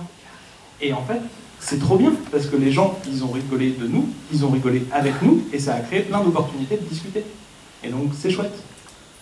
Ou alors, hé, la semaine prochaine, c'est la Saint-Patrick. Si on faisait à l'arrache une soirée pub, sans rien préparer, sans avoir mis le budget, sans avoir euh, rien fait à, l'avance, et eh ben ouais, ça marche. On a 60 euh, personnes qui viennent, avec des gens en, faisant juste dire euh, c'est une scène ouverte, venez jouer de la musique, et il y a des gens qui viennent jouer de la musique, en ayant juste, juste l'envie de le faire et, et se baser là-dessus. Alors, ça marche, des fois ça marche pas, des fois, on a des échecs cuisants. Mais c'est pas grave, ça fait partie aussi du, jeu de ça. Ouais. Ouais, vas-y. Et puis, du coup, c'est aussi, euh, aussi savoir quand est-ce qu'il faut euh, lâcher prise, quand est-ce qu'il faut laisser faire. Ça, euh, c'est quelques images qui ont été prises la première, une des premières journées avec l'association Ancrage, qui n'existe plus euh, aujourd'hui, mais qui, euh, donc, il y a deux ans, je crois. Euh, Ancrage, c'est une association d'illustrateurs qui bosse avec des, associations de migrants pour organiser des ateliers, etc. Et organiser des collectes aussi. Et donc, dans la bibliothèque, c'était la kermesse d'ancrage avec des sérigraphies, avec des ateliers de, dessin, des fresques murales, du maquillage, beaucoup de bazar dans tous les sens. Et là, en fait, nous, on avait juste un rôle vraiment de hé, voilà les clés tenez, et nous on va faire ce que vous avez envie qu'on fasse, mais c'est pas nous qui sommes à, l'origine du projet, et c'est très bien comme ça, et c'est très bien comme ça, et tout le monde en garde un souvenir euh, incroyable. C'est vraiment, moi en tout cas, de mes euh, presque 10 ans à, à, Louise Michel, c'est un de mes meilleurs souvenirs, parce que c'est le moment où c'était blindé de monde, là on est sur euh, peut-être 1000 entrées dans la journée, 1200, je sais plus, enfin, c'est vraiment un gros, un gros moment de fréquentation.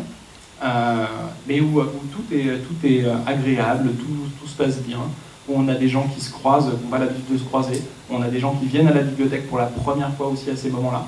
Et, euh, voilà, et ça, tout ça, c'est lié à, l'idée que ces gens-là de cette association-là, on les a rencontrés parce que et ben, ces illustrateurs, ils vivent dans le quartier, ils font partie de cette partie bobo dont je parlais tout à l'heure, et qu'ils se sont là aussi dit, hé, on a envie de faire un truc avec notre association, on voudrait un endroit sympa.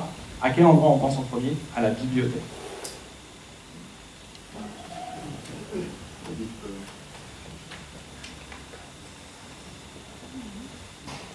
Et pareil, euh, pareil pour, euh, pour les lectures d'histoire avec, euh, avec les drag queens. Parce que ça, ça, ça s'est montré comme ça. C'est arrivé d'un seul coup cette proposition. Et ça semblait relativement évident en fait qu'il fallait faire ça. Et c'est les meilleures heures du monde qu'on ait jamais fait. C'est les meilleures heures du monde qu'on ait jamais fait. C'est magique. C'est vraiment magique. Euh, et, du coup, bah, c'est devenu presque euh, un, service régulier. Ça fait deux ans qu'il euh, que, y a ces interventions-là qui ont lieu, lieu à la bibliothèque. Et, ouais, c'est trop bien. Alors, on n'a pas fait Drag Queen encore. Pourquoi pas euh, dans la même continuité de, ce que disait Julien, c'est que en fait, euh, comme on est des lieux très ouverts à beaucoup de propositions, nous aussi c'est pareil, c'est, on se prend pas trop la tête, des fois les projets sont montés très très avec trois bouts de ficelle, il n'y a pas de réunion, il n'y a pas de... On, réagit surtout aux propositions des usagers pour éviter qu'ils repartent et qu'ils soient déçus et qu'ils n'arrivent plus voir. Et nous, euh, en un moment donné, on a quelqu'un qui, est, venu nous voir, qui s'appelle Marie-Françoise, et qui était en train de se former au shiatsu, bah, sa shiatsu, c'est son diplôme à l'école française de, de Il a dit écoute, euh, il faut vraiment que je pratique maintenant, et j'ai deux, deux collègues avec moi, on, est, trois élèves de l'école, et euh, il faudrait vraiment qu'on fasse pas mal de séances. je dis bah, on va basser les usagers, on va détendre tout le monde. Et donc on va faire une, matinée, un samedi matin, euh, on, est ouvert le samedi matin, en pleine ouverture publique, on fait ça sur inscription, des, séances de 20 minutes, et donc on avait fait toute une table avec de l'encens, de la musique zen, du thé, vraiment l'ambiance euh, tranquille. Et vous voyez, euh, il y a trois, trois, masseuses qui sont au fond, avec des gens qui attendent euh, comme, dans, une salle d'attente. Et puis il faut savoir que l'accueil est juste là, il, est, tout près. Et, en fait, bah, la matinée a rencontré un succès complètement dingue, ce qui fait qu'on a dû en refaire une autre comme ça.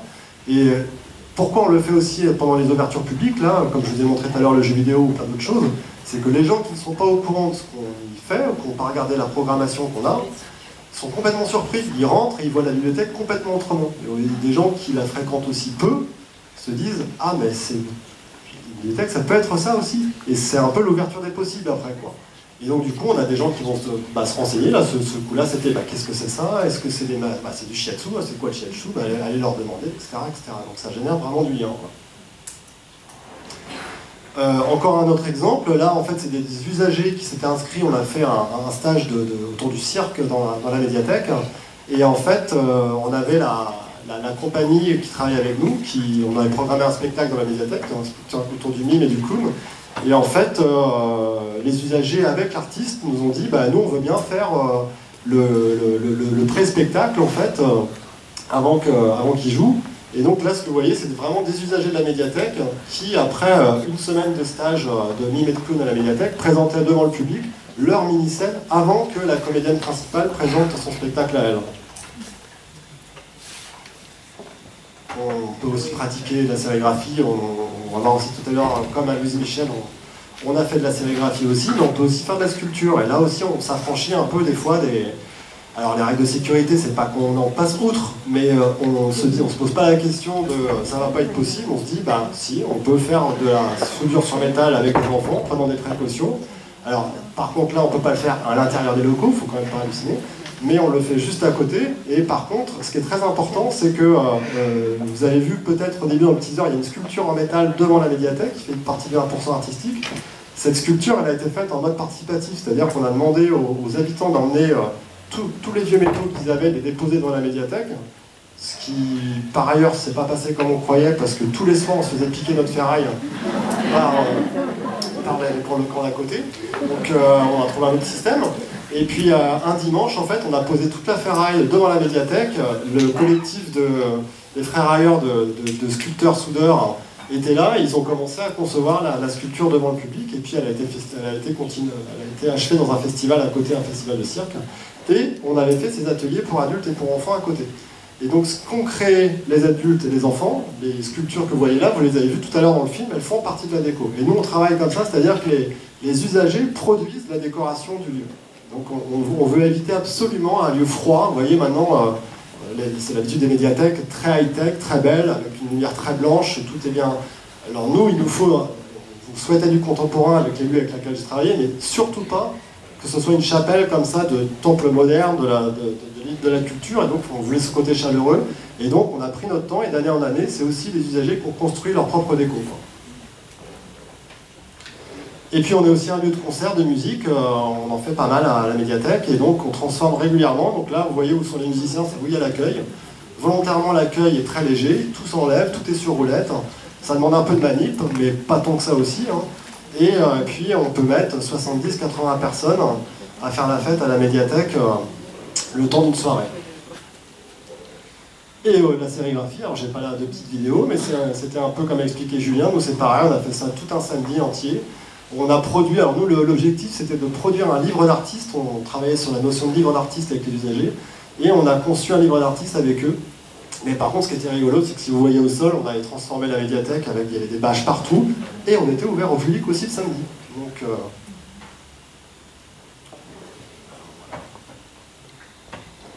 Alors, vers une organisation apprenante, réflexion continue et participative sur le fonctionnement et l'organisation du lieu. Alors, pour continuer, ça c'est pour aussi vous montrer, donc comme je vous le disais, que euh, moi quand je suis arrivé euh, juste avant 2006, il y avait une bénévole. Après on en a deux la même année. Mais en fait, quand on a euh, ouvert la médiathèque, il a fallu aussi concevoir cette équipe. Et une fois en fait que les bénévoles avaient compris qu'on était une médiathèque un peu peut-être différente que celle qui se représentait, ça a créé un engouement. Et en fait, après, par le bouche à oreille, les gens sont venus, alors un peu de com aussi, hein, les gens sont venus enfin, vraiment très facilement nous rencontrer, vous voyez la progression. Et maintenant, on aussi, hein, entre 25, 30 euh, cette année. Euh, et en fait, l'équipe se régule d'elle-même. Donc nous, c'est que des bénévoles, pas des salariés. Et on a la particularité d'avoir une pluralité dans l'équipe. Euh, d'âge, donc ça va de 20 ans à 70 ans, avec une majorité de femmes actives. On a un peu moins de retraités, donc c'est surtout des gens qui travaillent, des femmes qui travaillent, qui ont des enfants, et donc euh, tous les ans ça bouge, c'est-à-dire qu'il y a au moins une dizaine de personnes qui s'en vont, souvent liées à d'autres objectifs professionnels, qui ont changé de, de d'habitation, et qui se, remplacent d'elles-mêmes, puisqu'en fait, le, le, lieu est vraiment identifié dans le village, et les gens veulent vraiment travailler avec nous, donc cette équipe, on a un socle commun, et puis un socle annuel qui se renouvelle tout le temps, ce qui fait qu'on évite vraiment l'entre-soi. Alors pour, ces moments de convivialité sont importants dans l'équipe, hein, on en a parlé aussi avec Julien, et euh, ça c'est la dernière réunion qu'on a fait il n'y a, pas très longtemps. Euh, on n'arrive jamais à réunir toute l'équipe en même temps, on est en général une quinzaine, et donc euh, les bénévoles appellent ça des réunions repas. ils attachent le... Très important c'est le bon repas. En je leur dis il faut bosser avant mais ils attendent vraiment le repas. Mais donc c'est pour ça que ça commence vers 19h et ça finit aller vraiment vers minuit. Euh, on en fait une tous les deux mois comme ça, tous les trois mois, ça, suffit. Et donc euh, moi mon boulot c'est de leur exposer tout ce qui va advenir euh, dans, les mois à venir et surtout de leur demander de prendre le pouls aussi à ma place par rapport au public parce que moi j'ai la tête dedans comme on dit et eux c'est des habitants du village, moi j'habite pas le village. Et donc, ils me servent de, de, lien continuel avec la population. Et je leur demande aussi de critiquer mon travail. Et ça, c'est très important, parce que se, lancer des fleurs, c'est bien, mais j'ai vraiment besoin qu'ils soient un peu mon pygmalion, mon petit pic là, dessus. Et donc, je leur demande à chaque fois ce qu'ils ont trouvé nul, ce qu'ils ont trouvé moche, ce qu'ils ont trouvé à refaire, pas compréhensible. Et ça me permet de recorriger, moi, ma partie de mon travail, qui est de, l'ordre de l'administratif, de la communication euh, et de la programmation, etc. Et ensuite, comme ils disent, souvent ils disent c'est fini oui. Et eh ben, on sort les verres, on mange et on, passe le reste du temps ensemble. Donc là, ce coup-là, on a fait venir un food truck on a un bénévole à nous qui s'est lancé, c'est son food truck végétarien, donc on l'a fait venir à la médiathèque. On a mangé autour du food truck. Donc la petite image que vous avez vue à la fin. Et euh, dernière partie, c'est aussi, on a des bénévoles, mais je vous ai dit l'importance des stagiaires. Euh, moi, on, fait beaucoup de choses à la médiathèque, donc euh, je travaille pas mal, et j'ai besoin d'avoir de l'aide de stagiaires pour certaines tâches, mais aussi, pareil, j'ai vraiment besoin d'avoir les nouvelles générations qui arrivent en en, qui font des dust, des masters dans les métiers du livre, mais aussi de, qui sont des étudiants en communication, en, comme je vous ai dit, en art graphique, en cinéma, etc. Euh, pour que moi, ça me permette aussi de, ne pas rester en fait euh, sur, les mêmes, sur le même socle et de pouvoir me remettre en question. Voilà. Et donc nos stagiaires, là c'était cinq étudiants, euh, ont le droit chaque année d'expérimenter aussi ceux qui souhaitent dans la médiathèque. Donc là, je leur avais laissé, ils étaient cinq, faire un projet durant toute une semaine à préparer, plus un one-shot sur une journée entière qui tournait autour du manga. Euh, et en fait, ils ont carte blanche. Et donc, ils peuvent utiliser. Et moi, j'observe aussi ça, je leur sers de référent, mais je leur pique des idées.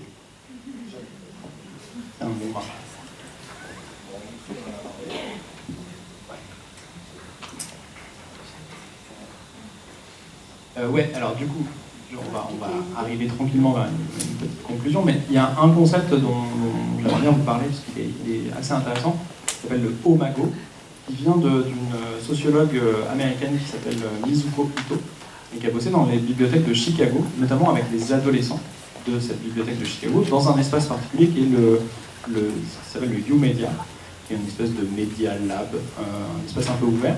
Et ce qu'elle théorise avec cette période d'immersion avec ces ados-là, c'est qu'il y a trois étapes qui se passent. Donc, Omago, hanging out, messing around, geeking out. Que je pourrais traduire avec cet accent magnifique. Euh, la première étape, c'est qu'on traîne, on, jette un coup d'œil, on regarde ce qui se passe et, euh, on, analyse un peu l'espace dans lequel on est et voir si on a la place d'y être, si on est bienvenu, si ça se passe bien, etc.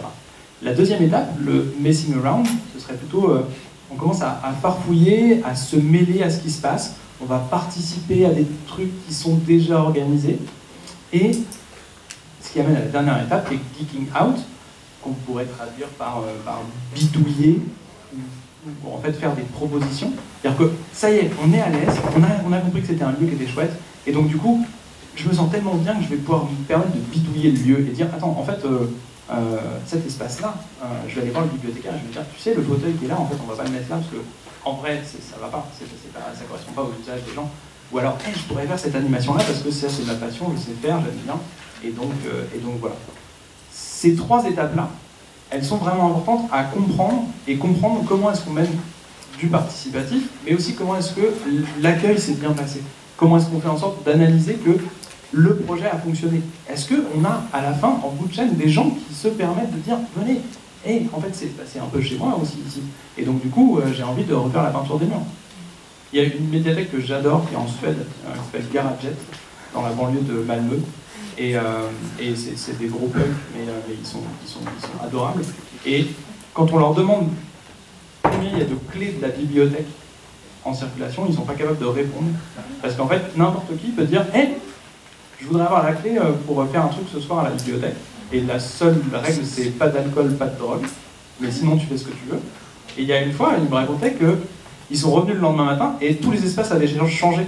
Genre les étagères étaient plus au même endroit, euh, les, meubles, il n'y avait plus rien au même endroit, et c'était mieux, et c'était beaucoup mieux par rapport aux usages qui étaient, qui. Et donc là, on est arrivé en bout de course de, ce truc-là, où il y a cette, cette appropriation euh, parfaite par la communauté que dessert la bibliothèque de la bibliothèque. Oui, oui, je vais rajouter juste une petite chose avant que tu parles de ton couteau suisse, Louise Michel. Euh, c'est que moi, j'ai découvert aussi dernièrement une, médiathèque, euh, c'était aussi un coup de foudre à Saint-Sébastien, dans Pays Basque espagnol, qui s'appelle le Media Lab, dans le centre culturel Tabacalera. Et euh, cette médiathèque a la particularité, alors ils ont pris une option très spécifique de travailler sur la musique et les arts visuels, puisque c'est lié au centre culturel où il y a le fameux festival très très connu de cinéma à Saint-Sébastien, c'est dans le même bâtiment. Et euh, en fait, ce lieu, euh, au lieu de, dépenser énormément d'argent dans, euh, dans des super beaux meubles, de, très, très, belles lumières, etc., etc., la directrice a demandé à, garder ses sous et en fait, ils ont investi dans énormément de machines. Alors ça va de découpeuse laser à machines 3D, à, carrément des, endroits de, bricoleurs, même professionnels. Hein. il, y a, tout type de... Et en fait, ils fabriquent leur propre mobilier en fonction des usages des gens ou des, demandes des, usagers. Ils le font avec eux. Quoi. Et donc, je, pourrais en parler des heures parce que c'est vraiment une médiathèque fabuleuse, je trouve. et qui rassemble toutes les générations. Moi, quand je me suis baladé, j'ai vu des gens jusqu'à 80 ans, des ados euh, qui sortent du collège pour bosser. Euh, et cette médiathèque, en fait, voilà, on, s'installe sur un fauteuil qui a été fabriqué, tous les plans sont en open source, et tout est fait par l'équipe sur des projets communs. Ils travaillent avec des quartiers populaires de Saint-Sébastien aussi, euh, ils produisent énormément de choses comme ça.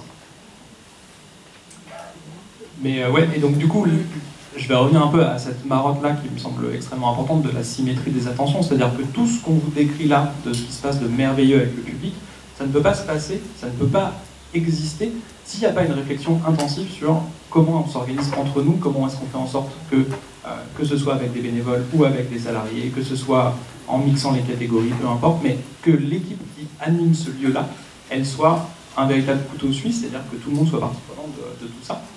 Euh, ça veut dire aussi euh, ben, participer à, la construction professionnelle de, ces équipes-là.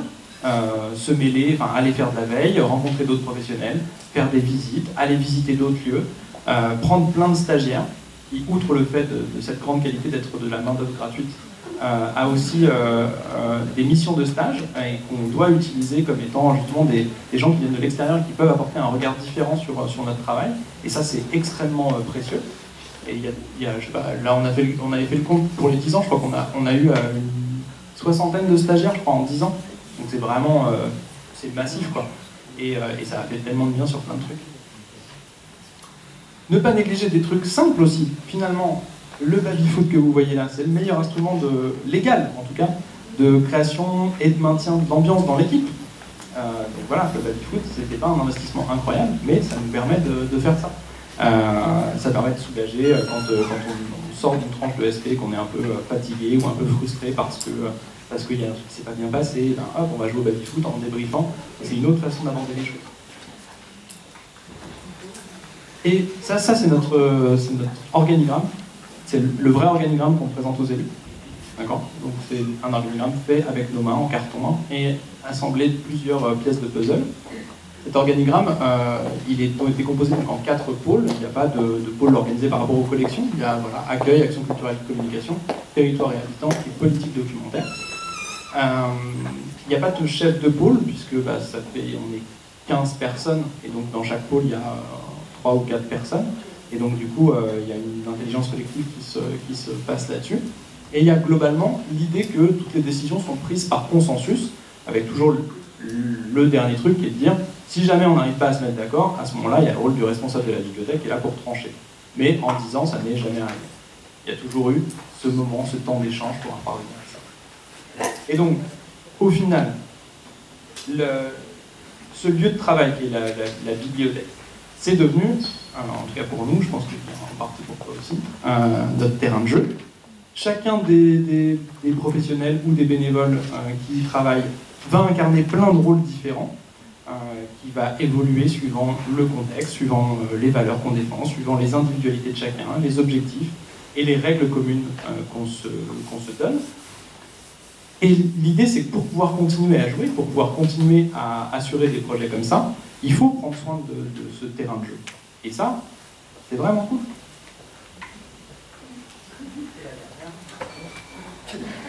Quelle est la morale de cette histoire Pour revenir au rat des villes et au rat des champs, je ne sais pas si vous vous souvenez de la fin du rat des villes et du rat des champs, mais en gros, après avoir visité la ville, et que ça ne soit pas très bien passé, le rat des champs revient à une sagesse assez concrète, puisqu'il dit Ce n'est pas que je me pique de vos festins de roi, mais rien ne vient m'interrompre. Je mange tout à loisir. Adieu donc, fille du plaisir que la crainte peut corrompre. Et donc, au final, cette histoire, qu'est-ce qu'elle peut dire? Elle ne dit pas qu'on est différent finalement entre Saint-Aubin et euh, Louise Michel. Elle dit que les médiathèques troisième lieu, les bibliothèques troisième lieu, et finalement peut-être toutes les bibliothèques, sont plutôt, devraient être en tout cas plutôt des rats des champs. Faisons fi du plaisir que la crainte te corrompt. Ça ne veut pas dire grand-chose maintenant, mais voilà. La bibliothèque, c'est un espace d'émancipation, un endroit où on lève les verrous. À défaut de pouvoir lutter tous les jours concrètement contre tous les problèmes du monde, il nous appartient à nous d'avoir, euh, d'ouvrir nos esprits et nos pratiques, d'intégrer les communautés dans lesquelles on interagit, euh, qui nous entourent, avec finalement une seule question qui doit nous animer face à tous les problèmes, c'est pourquoi pas? Et voilà. Merci beaucoup.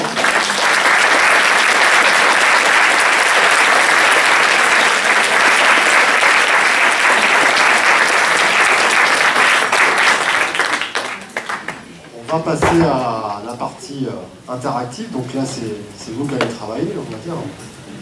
Euh, on, a, plusieurs modes processus là avec Julien. C'est tout simplement comme le classique, c'est on attend vos questions et on y répond, vos remarques, vos critiques, tout ce que vous voulez. Peut-être des choses qui vous ont interpellé, des choses fait marrer, des choses qui, que vous trouvez inadmissibles. Vous avez le droit de ne pas être d'accord du tout avec ce qu'on a, a, a, proposé.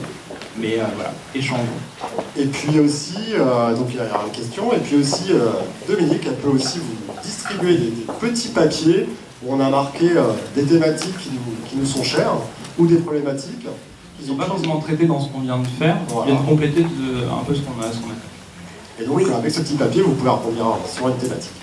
Bonjour, je m'appelle Isabelle Moreau, donc je travaille à la bibliothèque municipale de Clermont. Euh, moi, ce qui m'interpelle, c'est qu'en... C'est difficile, je ne vais pas m'entendre.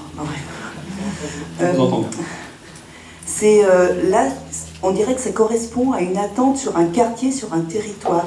Est-ce qu'à votre avis, c'est possible, lorsque déjà des structures proposent tout ça, et qu'on a envie de, quand même de proposer un, tiers-lieu ou un, ou un, troisième lieu, enfin, je sais qu'il y a des, différences, euh, on en parle. C'est très technique et voilà, c'est très technique. Mais comment proposer un tiers-lieu quand toutes ces structures existent déjà, quand le territoire euh, euh, a besoin quand même de, réunir, a besoin d'un lieu de lecture publique et comment faire pour intégrer les associations qui, elles, proposent aussi déjà toutes ces, toutes ces, ces activités que vous, que vous, avez réunies dans un lieu, comment faire pour que euh, y a un rayonnement sur un plus grand territoire. Voilà. Parce que là, je pense que ça correspond quand même à un besoin qui, n'existait pas avant. Euh, le quartier 20e. Euh, pour, Louise Michel, il y a vraiment à 20 mètres, un centre deux centres d'animation de chaque côté, à 20 mètres et 50 mètres.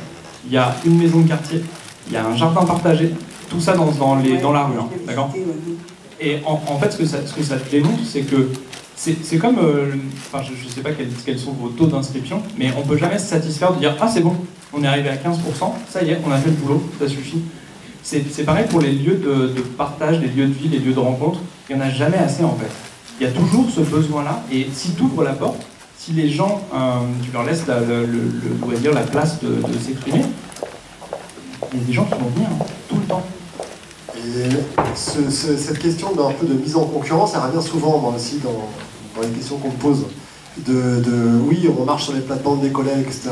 nous, en fait, on ne voit pas aussi du tout ça de cette manière-là. On veut plutôt faire des travaux de transversalité. donc nous, le, boulot qu'on fait, euh, euh, alors nous, on n'a pas ces structures-là, mais on a, des, on a à 2 km et demi, on a euh, espace jeune, cinéma, piscine, MJC, etc., etc., etc. aussi. Et en fait, on va simplement les rencontrer, voir quand on a un projet, une thématique, voir s'ils ne vont pas travailler dessus déjà pour pas histoire qu'on fasse pas la même chose. Et puis aussi voir si on peut travailler ensemble. Parce que l'un apporte à l'autre. Et nous, en tout cas, on est très friands de ces partenariats et de cette transversalité et de surtout pas rester dans son coin à faire son propre boulot. Euh, l'ouverture aux autres, elle commence par là, comme on parlait des équipes. Euh, ça commence aussi par nous, par ouvrir la, médiathèque aux partenaires. Vous connaissez, on travaille classiquement avec les écoles, etc. Mais pourquoi on ne travaillerait pas avec le bar du village ou le, ou telle structure. Quoi? Non, je crois que j'ai mal formulé ma, question. Alors là, je ne remets pas du tout en question, je ne cherche pas la rivalité avec les autres. Ce que je veux dire, c'est que là, on voit bien, Louise Michel ou euh, la, commune, ça correspond à une attente, à un besoin déjà. Le quartier Louise Michel, il y avait besoin peut-être d'un lieu où les gens pouvaient se rencontrer, quel que soit leur. Euh, voilà. Mais euh, quand ça existe déjà et qu'on a envie. comment faire? Voilà, je pense que quand le territoire est plus grand, c'est peut-être plus compliqué de mettre les terres-lieux tels quels euh, quand, euh, quand il y a déjà des, Quand tout est à construire, en fait, quand le lieu public, le, lieu de lecture publique est à faire, qui n'existe pas encore, et qu'il y a déjà des associations qui le proposent. Des... Voilà, alors je pensais plus au tiers-lieu, parce que c'est vrai qu'un tiers-lieu se fabrique en principe avec les associations, etc., se réfléchit en amont, et après on construit le tiers-lieu. Et euh, je me demande si, en fait, la possibilité d'offrir une, bibliothèque telle qu'elle est proposée à Louise Michel et à Saint-Aubin, c'est peut-être parce qu'elle correspondait aussi à une attente, à un besoin. Voilà. Eh ben, mais je ne mets jamais en rivalité que ce soit au contraire. Je, hein. comprends. Et pendant longtemps, j'ai pensé qu'il il y avait un, petit alignement de planètes qui disait que ça matchait les besoins, les attentes et tout ça. Et que en fait, c'était pas possible ailleurs, jusqu'à voir d'autres exemples dans d'autres univers différents. L'exemple de Saint-Aubin, c'est pas du tout les mêmes types de publics, c'est pas du tout les mêmes types de besoins, d'attentes. Et c'est ce que je, disais juste avant, c'est-à-dire que ce besoin, en fait, c'est un besoin des publics de se retrouver. Il y a, le besoin de, culture, d'aller dans un lieu, de pouvoir, participer à des événements, de pouvoir emprunter des bouquins, euh, participer à tout ça. Mais il y a aussi ce, juste ce besoin simple de se rencontrer. Et ça, il n'y a jamais assez de lieux qui proposent ça. Il n'y a jamais assez de lieux pour couvrir l'intégralité des besoins d'une communauté. Donc, je, pense que ça vaut le coup de tenter, le truc, tu vois on, même quand on est sur une création, même si on est sur un gros territoire. Alors évidemment, c'est un territoire qui est immense euh, et sur lequel euh, on, a l'ambition de, desservir cet immense terrain, c'est beaucoup plus difficile que d'être dans un petit quartier où tout est à, un jet de pierre. Mais il faut commencer petit, c'est aussi un truc euh, important. C'est aussi une des leçons qui me semble extrêmement importante dans cette culture de test, c'est commencer petit. Faire des choses à une échelle locale, très locale, avec les gens qui viennent déjà, avant de vouloir essayer de capter 50 000 publics euh, extérieurs, installer un truc, faire des choses avec ceux qui sont là, et, après on, fait l'expansion. Ouais, il y a une question juste là. Merci. Bonjour. Ah oui, effectivement, c'est euh, J'avais une question. En fait, vous avez beaucoup parlé d'associations euh, qui viennent dans la bibliothèque et qui font euh, moi, je, travaille dans une collectivité à euh, la promotion euh, d'économie sociale et solidaire et de tiers-lieux. Donc je travaille aussi en lien avec des tiers-lieux qui sont issus de la société civile. Donc ils proposent des types d'activités qu'on retrouve dans, vos lieux, type repère café, numérique, etc. etc. Et sur notre territoire, il y a aussi les bibliothécaires qui sortent enfin c'est un milieu rural, qui sortent de la bibliothèque pour poser des animations, participer à des activités, c'est toujours très riche. Et euh, vous en avez peu parlé, alors je pense que peut-être en milieu rural euh, ça se fait davantage. J'avais deux questions, c'est effectivement euh, comment la bibliothèque sort de son lieu, même si elle est un tiers, un tiers lieu, un troisième lieu. Et deuxième question aussi, par rapport à l'opportunité qui pourrait se créer avec des tiers lieux qui ne sont pas des médiathèques et qui pourraient avoir par exemple un, relais, euh, enfin créer, euh, participer à un, réseau. Sur, le territoire sur lequel je travaille, par exemple, il y a huit euh, médiathèques, enfin bibliothèques avec quatre qui ont des ETP, d'ailleurs elles sont peut-être là. Et comment dire, elles ne sont pas présentes dans tous les villages il y a, vraiment la, question du réseau en fait, notamment de prêt et d'échange. Et je me demandais si un lieu euh, autre que les médiathèques pouvait participer aussi à ce réseau, si ça existe. voilà. Alors, déjà, nous, il y a une petite chose, c'est vrai que je ne sais pas si dans ce que j'ai montré, ça le représente vraiment, mais en fait, oui, on fait des partenariats avec les associations euh, de notre village et de celles d'à côté, évidemment, mais ce que vous voyez, en fait, c'est vraiment les trois quarts des interventions, c'est les usagers. C'est des groupements visuels, ce qu'on appelle maintenant l'empowerment ou l'autonomisation. C'est des gens qui se retrouvent autour d'une thématique qui leur plaît, ou d'une cause à défendre, ou d'une quelque chose à présenter, à expliquer, à transmettre, et qui organisent des projets avec nous. Au final, on a quand même beaucoup plus de projets comme ça qui viennent des habitants que d'associations structurées, même si on fait des partenariats avec des associations, bien sûr. Euh, y a, euh, on a un tiers-lieu, alors qui est plutôt, enfin tiers-lieu comme on dit, il y a plein de formes de tiers-lieu, mais qui est une sorte de, Fab Lab, hein, qui ne fait pas partie de l'interco où je travaille, parce que nous, moi, nous on fait partie d'un réseau de, euh, intercommunal aussi de, bibliothèques, et qui est juste à côté. Et, euh, justement, on a euh, demandé aux élus, ça a été compliqué parce que justement, politiquement, c'est pas la même interco, mais à force de travailler avec eux, on a demandé à faire des passerelles avec cette structure de Fab Lab, parce qu'on n'en a pas sur notre territoire, et avec, on a passé un conventionnement qui nous permet d'aller, nous, salariés, travailler avec eux ou sur des projets de plusieurs heures, donc oui, c'est possible.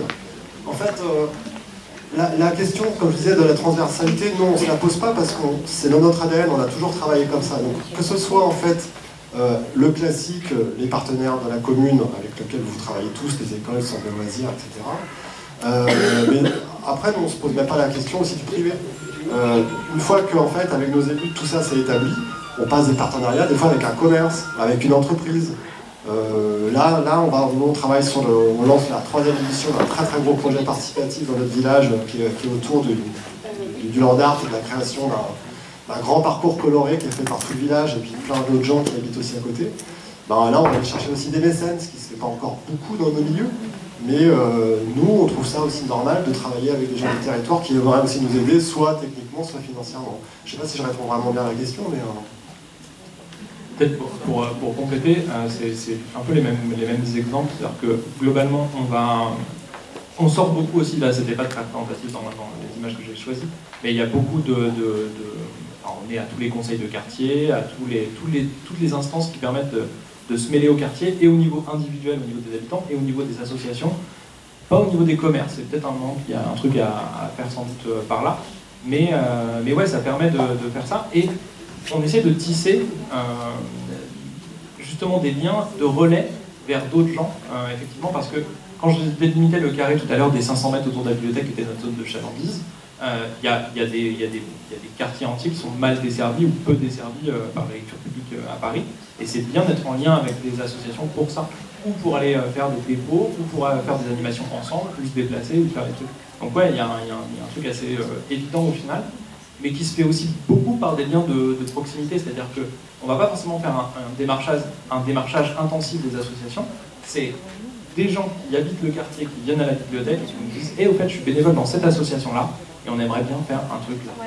Et du coup, c'est comme ça que la, plupart des actions comme ça sont, sont euh, oui, je me rends compte, j'ai pas répondu à votre question sur le côté hors les murs, sortir de la structure. Ben, en fait, c'est tout simple, on sort physiquement de la structure. Alors, soit on fait des ateliers devant la médiathèque, soit on en fait beaucoup aussi, on, travaille beaucoup avec l'auberge, le bar de notre village, avec lequel on travaille spontanément. Eux, ils viennent chez nous faire des actions, nous, on travaille sur leur terrasse. Quand il fait moins beau, ça arrive en Bretagne, c'est caricature, beau, euh, à l'intérieur. Euh, mais aussi, on fait, on s'inscrit, on a un énorme festival de cirque contemporain euh, voilà, on, est, on a la chance d'être programmé aussi dans ce festival, c'est une manière de sortir. Et donc justement, comme on, crée une forme qui est programmée, c'est un, festival qui réunit quand même 10 000 personnes sur un week-end, euh, là on met en bas des grands panneaux pour dire non, non, on n'est pas une compagnie, on est une médiathèque. Là aussi ça suscite la curiosité. On fait des projets comme ça, on travaille aussi avec l'école, mais on se met, on va, on se met devant l'école à la sortie, quand les parents euh, viennent chercher leurs gamins, pour parler de certaines actions qu'on fait. Euh, comme vous avez vu en pleine prairie, on se met dans les lieux euh, euh, qui ne sont pas investis sur la commune, bah, on va faire une action en plein dans un champ, pour vraiment se faire voir de la population. J'adhère très bien à ce que votre présentation et je vois bien quelle est l'utilité. ce, que je ne retrouve pas dans votre présentation, j'ai l'impression que les bouquins restent un peu sur les étagères et et, vous l'avez dit tout de suite, euh, on vient quand même à la médiathèque, donc de tous ces outils de médiation euh, pour amener euh, nos habitants à l'intérieur de la médiathèque. En fait, c'est quoi le résultat 200 000 prêts par an. 200 000 prêts par an. C'est dommage parce qu'on ne le voit pas. En fait, c'est pour le réserver aux questions. Merci de m'avoir permis de poser la question. Alors, je peux vous mettre aussi, c'est une question qu'on nous pose à chaque fois. Euh, je l'ai dans mes dossiers, là, je pourrais vous montrer aussi. Euh, pareil, euh, donc, nous, c'est 50% du village qui, a, qui est adhérent, actif. C'est des taux de prêt bien au-delà de, nos, copains d'à côté. Voilà. on ne se pose pas cette question-là dans le sens que, comme je vous dis, nous, le but, c'est d'ouvrir à... Il n'y a pas En plus, on, on, est lecture publique, mais il faut savoir que maintenant, les médiathèques, c'est bien au-delà du livre. Donc, donc c'est intéressant parce qu'en fait, c'est vraiment un cercle vertueux. C'est-à-dire, plus on monte des actions pour faire fréquenter la bibliothèque et faire en sorte que la bibliothèque soit fréquentée, plus elle est fréquentée et plus les gens bénéficient de tous ces services, y compris évidemment les collections.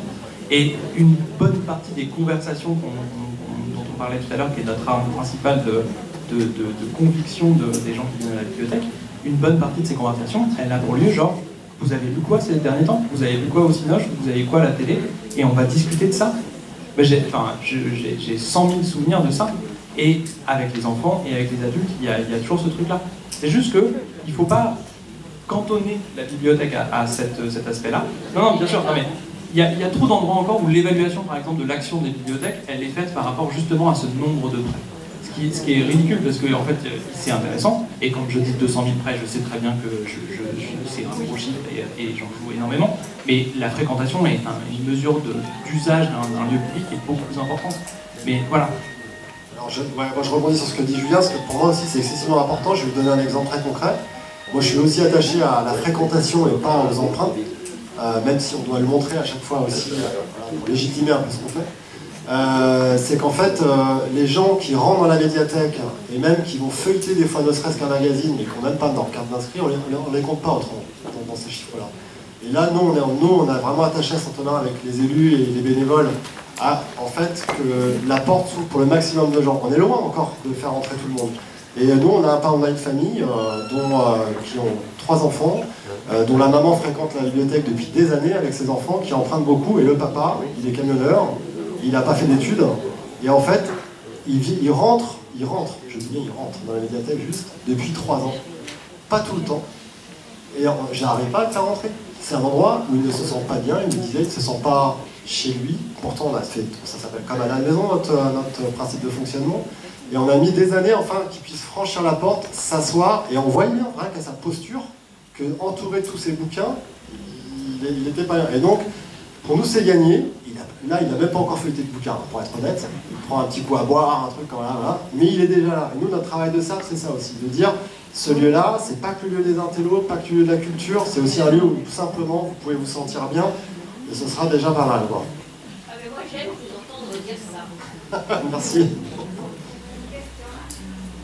Oui, bonjour. Euh, je ne suis pas bibliothécaire, je travaille dans une communauté de communes rurales, dans un service culturel.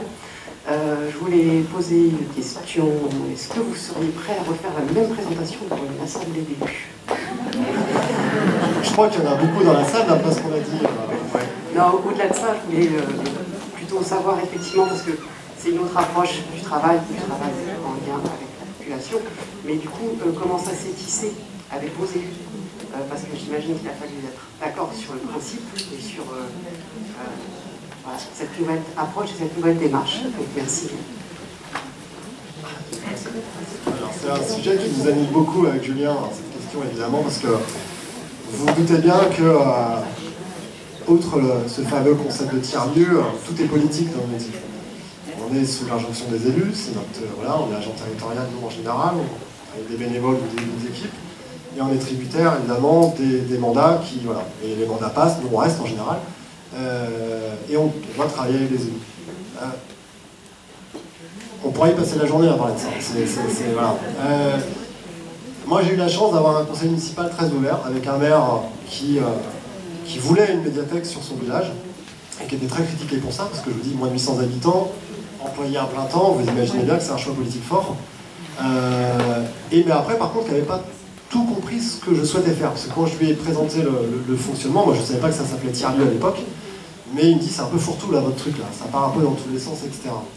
Et euh, je lui ai dit bah, laissez-moi en tout cas euh, un an d'ouverture, laissez-moi au moins une année, et puis vous pourrez critiquer mon travail, etc. Et j'ai aussi eu la chance d'avoir une élue qui n'était pas du tout du métier et qui m'a dit moi par contre euh, il faut que tu m'apprennes des choses parce qu'autrement on va pas pouvoir travailler ensemble. Et donc pendant plusieurs semaines, je lui ai, on, a fait vie ma vie de bibliothécaire. Donc elle est venue, elle a pris des notes, et voilà, et on s'est baladé ensemble de bibliothèque en bibliothèque pour qu'elle comprenne mieux le métier. Et en fait, ce travail de simple que j'ai fait là, petit à petit, avec euh, la reconnaissance qu'on a eue nous à Saint-Aubin, au niveau de notre réseau de médiathèque, on a fait pareil avec les élus intercommunautaires. C'est-à-dire qu'on a pris le temps d'aller discuter avec eux, c'est des, gens qui s'investissent beaucoup, qui sont très pris aussi, hein, euh, les élus, donc leur dire est-ce que là vous pourrez nous accorder un petit peu de temps pour qu'on vous montre aussi machin, machin, machin. Et de fil en aiguille, on a réussi à de temps en temps prendre un minibus, les emmener avec nous pour montrer un exemple qu'on aimait, etc. Mais ça prend des années. C'est pour ça que euh, moi je, suis depuis très longtemps à Saint-Aubin et que je, vous connaissez dans, nos métiers, il faut évoluer, bouger, etc. Moi j'ai fait le choix de rester sur ma commune et de prendre le temps de travailler sur des projets à très long terme, autant avec mon équipe, les habitants, qu'avec les politiques une autre façon de répondre dans un contexte qui est très différent que le contexte parisien, où en fait euh, les élus sont assez loin de nous. En fait, il y a, vraiment des couches administratives qui, euh, sont assez euh, étanches entre les élus et les bibliothécaires, parce qu'on appartient à un très gros réseau de 70 bibliothèques sur la ville de Paris. Donc il y a la direction du réseau, puis la direction de la culture, puis les lieux de la culture, puis machin. En parallèle de ça, il y a aussi la compétition qui peut exister entre la mairie de Paris, la mairie centrale et les mairies d'arrondissement. Ce qui, est, ce qui est problématique sur certains trucs, mais qui nous permet de dire si papa dit non, je vais voir maman. Euh, donc nous, les élus, ont été relativement faciles à convaincre de, l'utilité, parce qu'on les a fait venir. À l'origine du projet, c'est un, projet qui a été défendu avant que la bibliothèque soit construite, euh, qui a été défendu avec les élus et qui, a été très convaincu. Les difficultés qu'on a eues, c'est des difficultés dans l'administratif en fait. Quand je parlais tout à l'heure du fait qu'on mesure euh, le succès d'une bibliothèque à son nombre de prêts, évidemment que le projet qu'on proposait, il ne s'intégrait pas là-dedans. Quand on disait, hey, peut-être que cet endroit-là, on pourrait euh, ne pas faire payer les amendes de retard, par exemple. évidemment qu'on s'est pris des, refus immédiats dans, la pas des élus, mais vraiment de la partie administrative. Par contre, on a choisi d'ignorer ces refus-là et de dire, ok, on a demandé, t'as dit non, on va le faire quand même. Et dans un an, on revient et on te montre si ça a marché ou si ça n'a pas marché. Typiquement, pour le jeu, le jeu de société à la bibliothèque. On a fait un dossier très propre, euh, en demandant un budget qui était vraiment euh, pas, incroyable, c'était 700 euros à l'époque. Et on nous a dit non, non, non, euh, c'est bon, il y a déjà des bibliothèques. Des bibliothèques à Paris, il y en a deux qui restent, deux ou trois associatifs, c'est vraiment rien. Et donc, on a dit, bah, pas grave, on fait quand même, on va trouver une autre source de financement. On a été voir la mairie d'arrondissement, on a été voir les assos de quartier, on a fait un appel aux dons et on a fait ça. Et au bout de deux ans, on est arrivé avec un dossier complet en disant, ok, voilà, vous avez dit non, mais c'est pas grave, on a fait quand même. Et voilà le résultat qu'on a. Et c'était donc très positif parce que, parce que le jeu c'est trop bien et que ça, s'intègre parfaitement dans une bibliothèque comme celle-là. Et du coup, bah, maintenant, il y a du jeu dans genre 20 bibliothèques sur les 70 parce qu'il y avait besoin, au-delà de ce premier revue, qu'on leur montre que c'était important. Donc parfois il faut, je ne vais pas dire désobéir, mais en tout cas prendre un, autre chemin, se séparer bons amis et se retrouver un peu plus tard en disant ok, en fait euh, voilà. Et c'est la même chose pour les amendes, c'est-à-dire qu'aujourd'hui, le règlement n'a pas changé, donc les amendes de retard sont toujours payables, sauf qu'il y a plus de la moitié du réseau de la dont les équipes ne font pas payer les amendes parce que, parce que ça ne correspond pas du tout à leur projet de service. Et du coup, il y a là aussi un voile pudique de, non-connaissance qui est de dire je ne demande pas, donc je ne sais pas, donc tout va bien. Un jour, ça, il y aura une évolution de ça, on arrivera à convaincre les élus qu'il faut faire changer, parce que là c'est un blocage des élus sur les, sur les amendes de retard. Un jour on arrivera à convaincre les élus qu'il faut changer le règlement, et pour l'instant on n'y est pas encore. Euh, toute petite question provocatrice. Est-ce que vous pourriez penser à changer le mot usager? On parle d'élus, un élu, c'est magnifique. Élu, élu, vous imaginez Et moi, je suis usager, bah, je me sens pas usagé. Non, mais c'est effectivement c'est C'est vrai que c'est on nous a fait la remarque, moi c'est vrai que je fais plus attention à. Mais je dis souvent, euh, les gens qui fréquentent la bibliothèque, c'est une longue périphrase. C'est. Euh, voilà, les habitants du quartier, les habitants de la bibliothèque, on, varie beaucoup dans ces trucs-là, mais effectivement, euh, usager c'est super chiant. Lecteur c'est pas, pas génial non plus, parce que ça ne correspond pas, mais usager c'est vraiment pas juste. On est on lance un appel à retrouver un nouveau, euh, terme. Bonjour. Alors, c'est moins une question qu'un retour là, sur ce qu'on vient d'entendre, parce que je, me retrouve beaucoup dans, ce que vous avez pu exposer. Je suis Nicolas, je travaille à la bibliothèque de Saint-Maximin, et depuis 16 ans.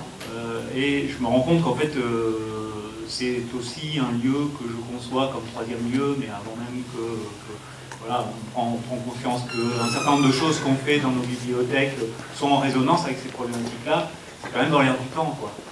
Donc euh, vous êtes très pionnier et très riche de, tout un tas de, propositions. Et, donc euh, je voulais vous remercier pour, ça, parce que ça, conforte, ça, donne de l'élan pour aller plus loin.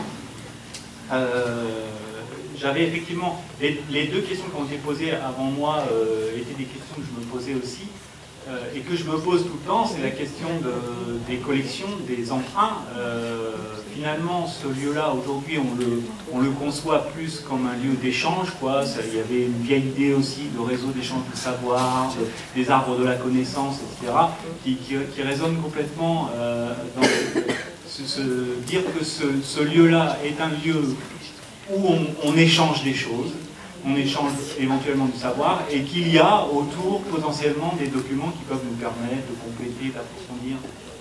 Donc c'était un peu cette, euh, cette idée-là. Et puis après, bon, la question, des, la question des, élus aussi, comment cheminer avec eux?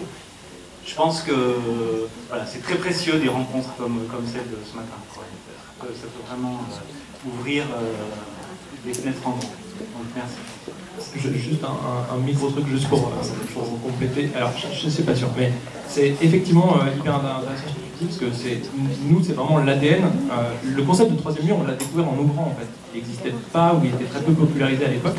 Et donc on, s'inscrit dedans parce qu'on s'est reconnu là-dedans et qu'on trouve qu'il y, a un truc intéressant. Mais au final, c'est pas hyper différent de ce qu'on fait dans les bibliothèques jeunesse des années 80. D'accord Donc on a ce passif-là. Et nous, les deux personnes qui ont, porté le projet euh, à la fin des années 90 euh, et pendant les travaux, etc., bah, c'est Blandine Orange qui a fait euh, l'essentiel de sa carrière, qui est partie à la retraite euh, un an après l'ouverture de la bibliothèque. Et elle a fait toute sa carrière en jeunesse. Et, s'il y avait quelque chose de logique, la bibliothèque familiale qu'elle défendait, c'était un troisième lieu. C'est juste que là, on, a un mot pour décrire les choses et on a peut-être systématisé euh, une interrogation autour des structures pour, pour être sûr de continuer sur cette voie-là. Mais après, ouais, vous avez tout à fait raison. on n'a rien inventé, c'est ce qu'on dit avec Julien. En fait, on n'a fait que s'inspirer ou reprendre des choses qui existent déjà depuis très longtemps, qui ont été, ont été pratiquées par les associations, par les maisons de quartier, par l'éducation populaire, par euh, énormément de choses. Moi, je me suis inspiré de, beaucoup de choses comme ça et qu'on a mixé en fait pour faire euh, ce, pseudo Nous, on est très fiers de présenter le troisième on disait avec Julien, mais dans ce qu'il a, dans ce qu'on vous a montré et pas dans ce qu'il est dévoyé dans d'autres lieux ou dans d'autres sphères, euh, parce que maintenant, euh, il y a beaucoup de financements qui vont vers les tiers-lieux, ça va continuer avec le gouvernement. Euh, et donc, ça peut partir dans tous les sens. Et quand vous parlez de réseau d'échange, respect de savoir, nous, voilà, par exemple, moi je suis très empreint de tout ça. Euh, j'ai pas le temps de le mettre en place parce que pour ceux qui ne le savent pas, c'est une méthodologie, hein, ça, a été créé par Claire et Marc Versus dans les années 70, donc on n'a rien inventé du tout. Euh, qui a été très emprunté dans les, emprunté dans les maisons de quartier, ce système-là. Nous, par exemple, on a choisi de le faire au niveau professionnel. Donc euh, le réseau d'échange de savoir, on le fait au niveau des bénévoles et des salariés de notre réseau. Donc en fait, ça, fonctionne, on a un échange de savoir, on a tous des savoirs à apporter aux autres, et en fait, on, fonctionne avec euh, sous système d'atelier d'une heure ou deux maximum, où on dit à, nos collègues, bah voilà, moi je, sais travailler en intelligence co, est-ce que vous voulez que je vous fasse un atelier? Ouais, qui veut s'inscrire, ok, on est cinq, on programme ça, on fait ça dans ta bibliothèque. Les bénévoles peuvent participer. Ah bah moi je pratique la lecture à voix haute, est-ce que vous voulez que je vous montre ça marche? Ouais. Donc euh, bah, si ça vous intéresse, je pourrais, euh, on, vient, on, vient, de rédiger avec ma collègue qui est coordinatrice du réseau, de co-rédiger un, retour d'expérience sur ce réseau-là. Et euh, c'est grâce à nos élus, hein, on a été pareil. Quand je vous parlais du minibus là, moi j'étais très convaincu de cette méthode-là. Donc le maire de la grosse commune, plus le président de l'Interco et d'autres élus sont venus avec nous à une journée pro où ça parlait des échanges de savoir. Et toutes les parties de là, on a été formés par le, couple Hébert Suffren pendant deux jours, et depuis on essaime comme ça, et, là on pourrait plus s'en passer. Et, de ce point de vue, donc, euh, je, suis assez intéressé, j'en avais entendu déjà parler de ce que vous faites euh, à Saint-Aubin, sur le, fait de, de, cataloguer des gens. Oui. Ce serait intéressant de, nous en dire un peu plus. Oui, alors bah, justement, ça vient des réseaux d'échange de savoir. En fait, euh, il y a une bibliothèque qui est formidable, qui est, euh, alors ça a été, il faut rendre à César ce qui est à César, c'est Annie Le Porcher qui à Languédic, qui a été la première en France à, instaurer le réseau d'échange de savoir en tant que fonctionnement de la médiathèque. C'est-à-dire que là, c'est au niveau des usagers, hein, des usagers viennent proposer leur savoir en échange de rien du tout. Euh, il y a tout un réseau qui se fait, voilà, je t'apprends à faire le couscous, euh, bah, moi je voudrais apprendre les bases de la physique quantique, voilà, c'est tout un système qui s'instaure comme ça. Et euh, à Séné, qui est pas très loin dans le Morbihan aussi, la médiathèque Grain qui est dirigée par Delphine Cadet, ont instauré ça aussi dans la médiathèque, mais à un niveau très très poussé, comment dire, renforcé par les élus qui, qui, leur amènent beaucoup d'eau au moulin, et en temps de formation et en financement. Et, donc, eux, ils ont commencé vraiment à le, faire. Nous, on le fait de manière plus sporadique, on va dire, mais euh, les, savoirs des gens, de leurs usagers, en fait, se retrouvent dans les notices des documents. C'est-à-dire que euh, si vous tapez sur l'OPAC, euh, je, cherche la recette de la meringue italienne, vous allez tomber sur les livres ou, autres documents qui, qui, concernent la meringue italienne, mais vous allez tomber aussi sur le contact de Catherine ou de Nicolas qui sait faire la meringue italienne et qui peut venir à telle heure vous l'apprendre, voilà, ou qui vous conseille aussi certaines vidéos sur le net où ils font leur propre sélection.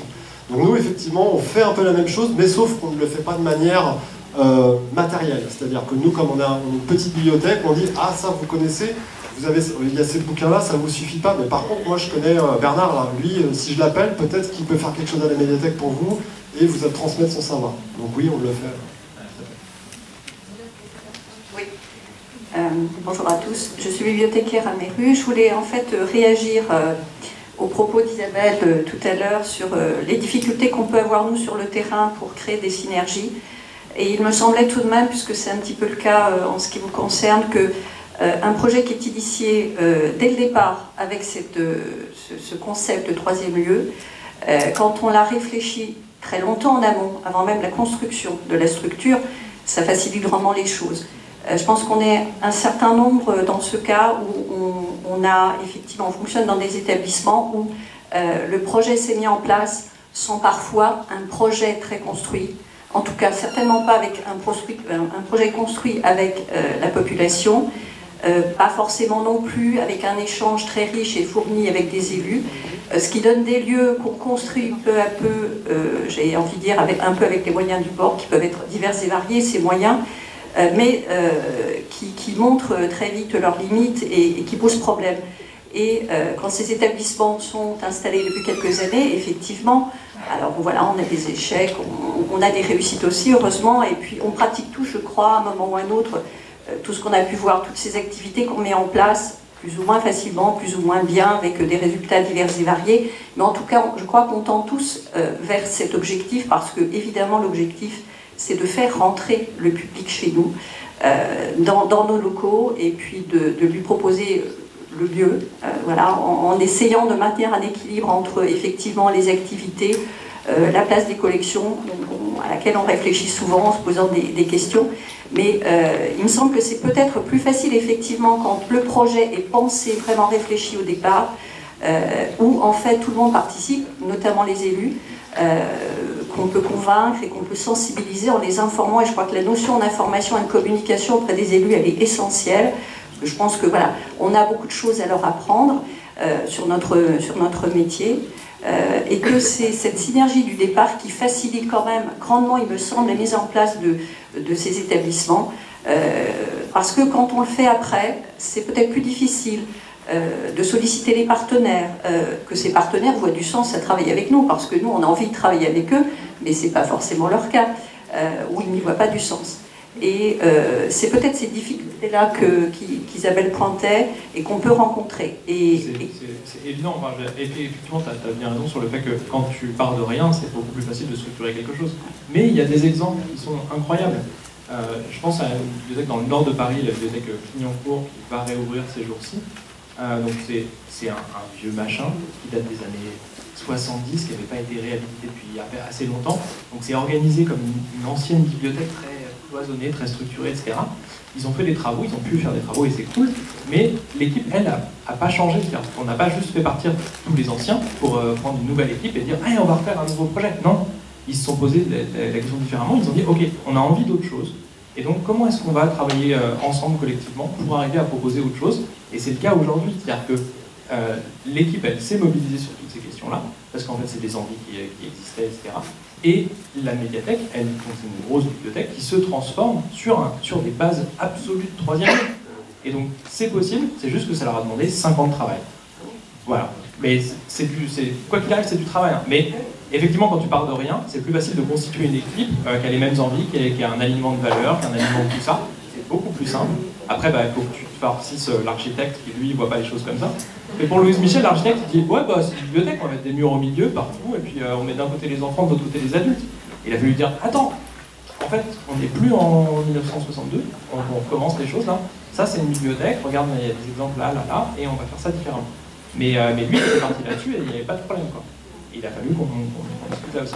Donc, l'exemple de, de, la bibliothèque dont je te parle, pour moi, il est vraiment symptomatique. C'était que c'était une vieille bibliothèque, vieille, avec des trucs qui n'avaient jamais bougé et des gens qui étaient restés sur place et qui enfin, qui de l'extérieur donnaient l'impression de s'être aigris sur une position de, gardien du temple, etc.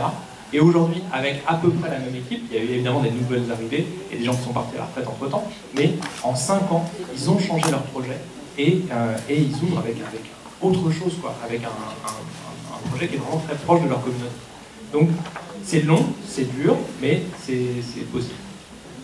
Non, mais moi je ne doute pas du tout que ce soit possible. Hein. Je pense qu'en fait, il faut aussi que nous, on change notre regard euh, sur, notre, sur nos pratiques. Je pense qu'il faut aussi qu'on puisse se remettre en question. Ça, je... Et puis, effectivement, on a bien vu ces évolutions, et, quelle que soit la, génération à laquelle on appartient, euh, on ne peut pas ne pas observer effectivement euh, toutes ces innovations ici et là, et, le sens qu'elles ont, parce que, encore une fois, on, voit bien que le public répond présent. Quel que soit donc ça a du sens effectivement mais voilà il faut intégrer effectivement le, travail sur le long terme moi, j'ai mis beaucoup de temps, effectivement, à créer un réseau, à tisser des partenariats avec, eux, euh, que ce soit un centre social, des centres de loisirs euh, et d'autres structures médico-sociales aussi. Euh, c'est long, c'est parfois fragile parce que, parce que ça marche une fois, pas la deuxième, etc mais euh, il faut intégrer le facteur temps, c'est vraiment quelque chose qui, est de l'ordre de la confiance aussi entre, nous, et alors j'allais dire nos usagers, hein, je, suis, désolée Virginie, mais euh, c'est vrai que c'est le terme qu'on utilise un peu, il faudrait effectivement peut-être en, trouver un autre, euh, mais je, voilà, je crois qu'il faut garder une forme d'optimisme, parce qu'effectivement, même quand on est sur un fonctionnement très traditionnel, on peut effectivement regarder autrement les choses, être plus effectivement à l'écoute de nos publics, peut-être qu'on n'est pas encore assez, euh, et les faire participer davantage, sans craindre effectivement qu'il y ait une forme de débordement et, que des choses qui nous, paraît, qui nous paraissaient assez étonnantes, euh, voilà, le fait de manger et de boire par exemple dans nos espaces, euh, qui moi il y a quelques années, parce que je suis une vieille bibliothécaire, me paraissait assez scandaleux, eh bien je le trouve tout à fait logique et pertinent aujourd'hui. Donc, je, je, travaille en bibliothèque universitaire et c'est j'ai des collègues de 22 ans euh, à qui je peux pas, avec qui je ne peux pas discuter de ce sujet de, du sujet de boire et manger à la bibliothèque. On parle d'une BU où, allez, 99% des étudiants n'utilisent pas les collections parce qu'ils viennent juste chercher une place de travail et que l'essentiel des documents qu'ils utilisent sont en ligne. Et donc, on n'a pas cette excuse-là. Mais boire et manger est une énorme problématique parce qu'il y a une culture professionnelle autour de ça qu'il faut déconstruire d'abord mais tout est possible. Mais ce sera possible, mais je pense, voilà, c'est juste pas euh, difficile et long. Voilà. Merci en tout cas de votre intervention. Merci beaucoup. Alors moi j'ai une petite question, euh, par curiosité surtout.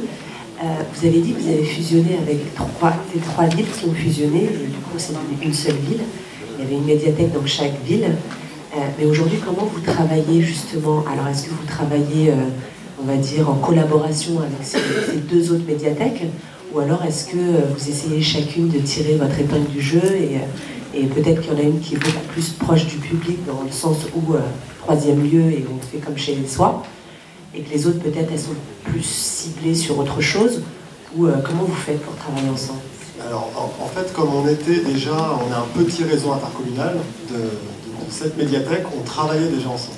Avant que ces, communes sont sur la même interco, donc on travaillait déjà ensemble connaissait très bien, on avait des projets communs, on a une coordinatrice de réseau, donc je vous en parlais, qui, fait le lien avec tout ça. On a, on certains financements de projets qui sont intercommunaux.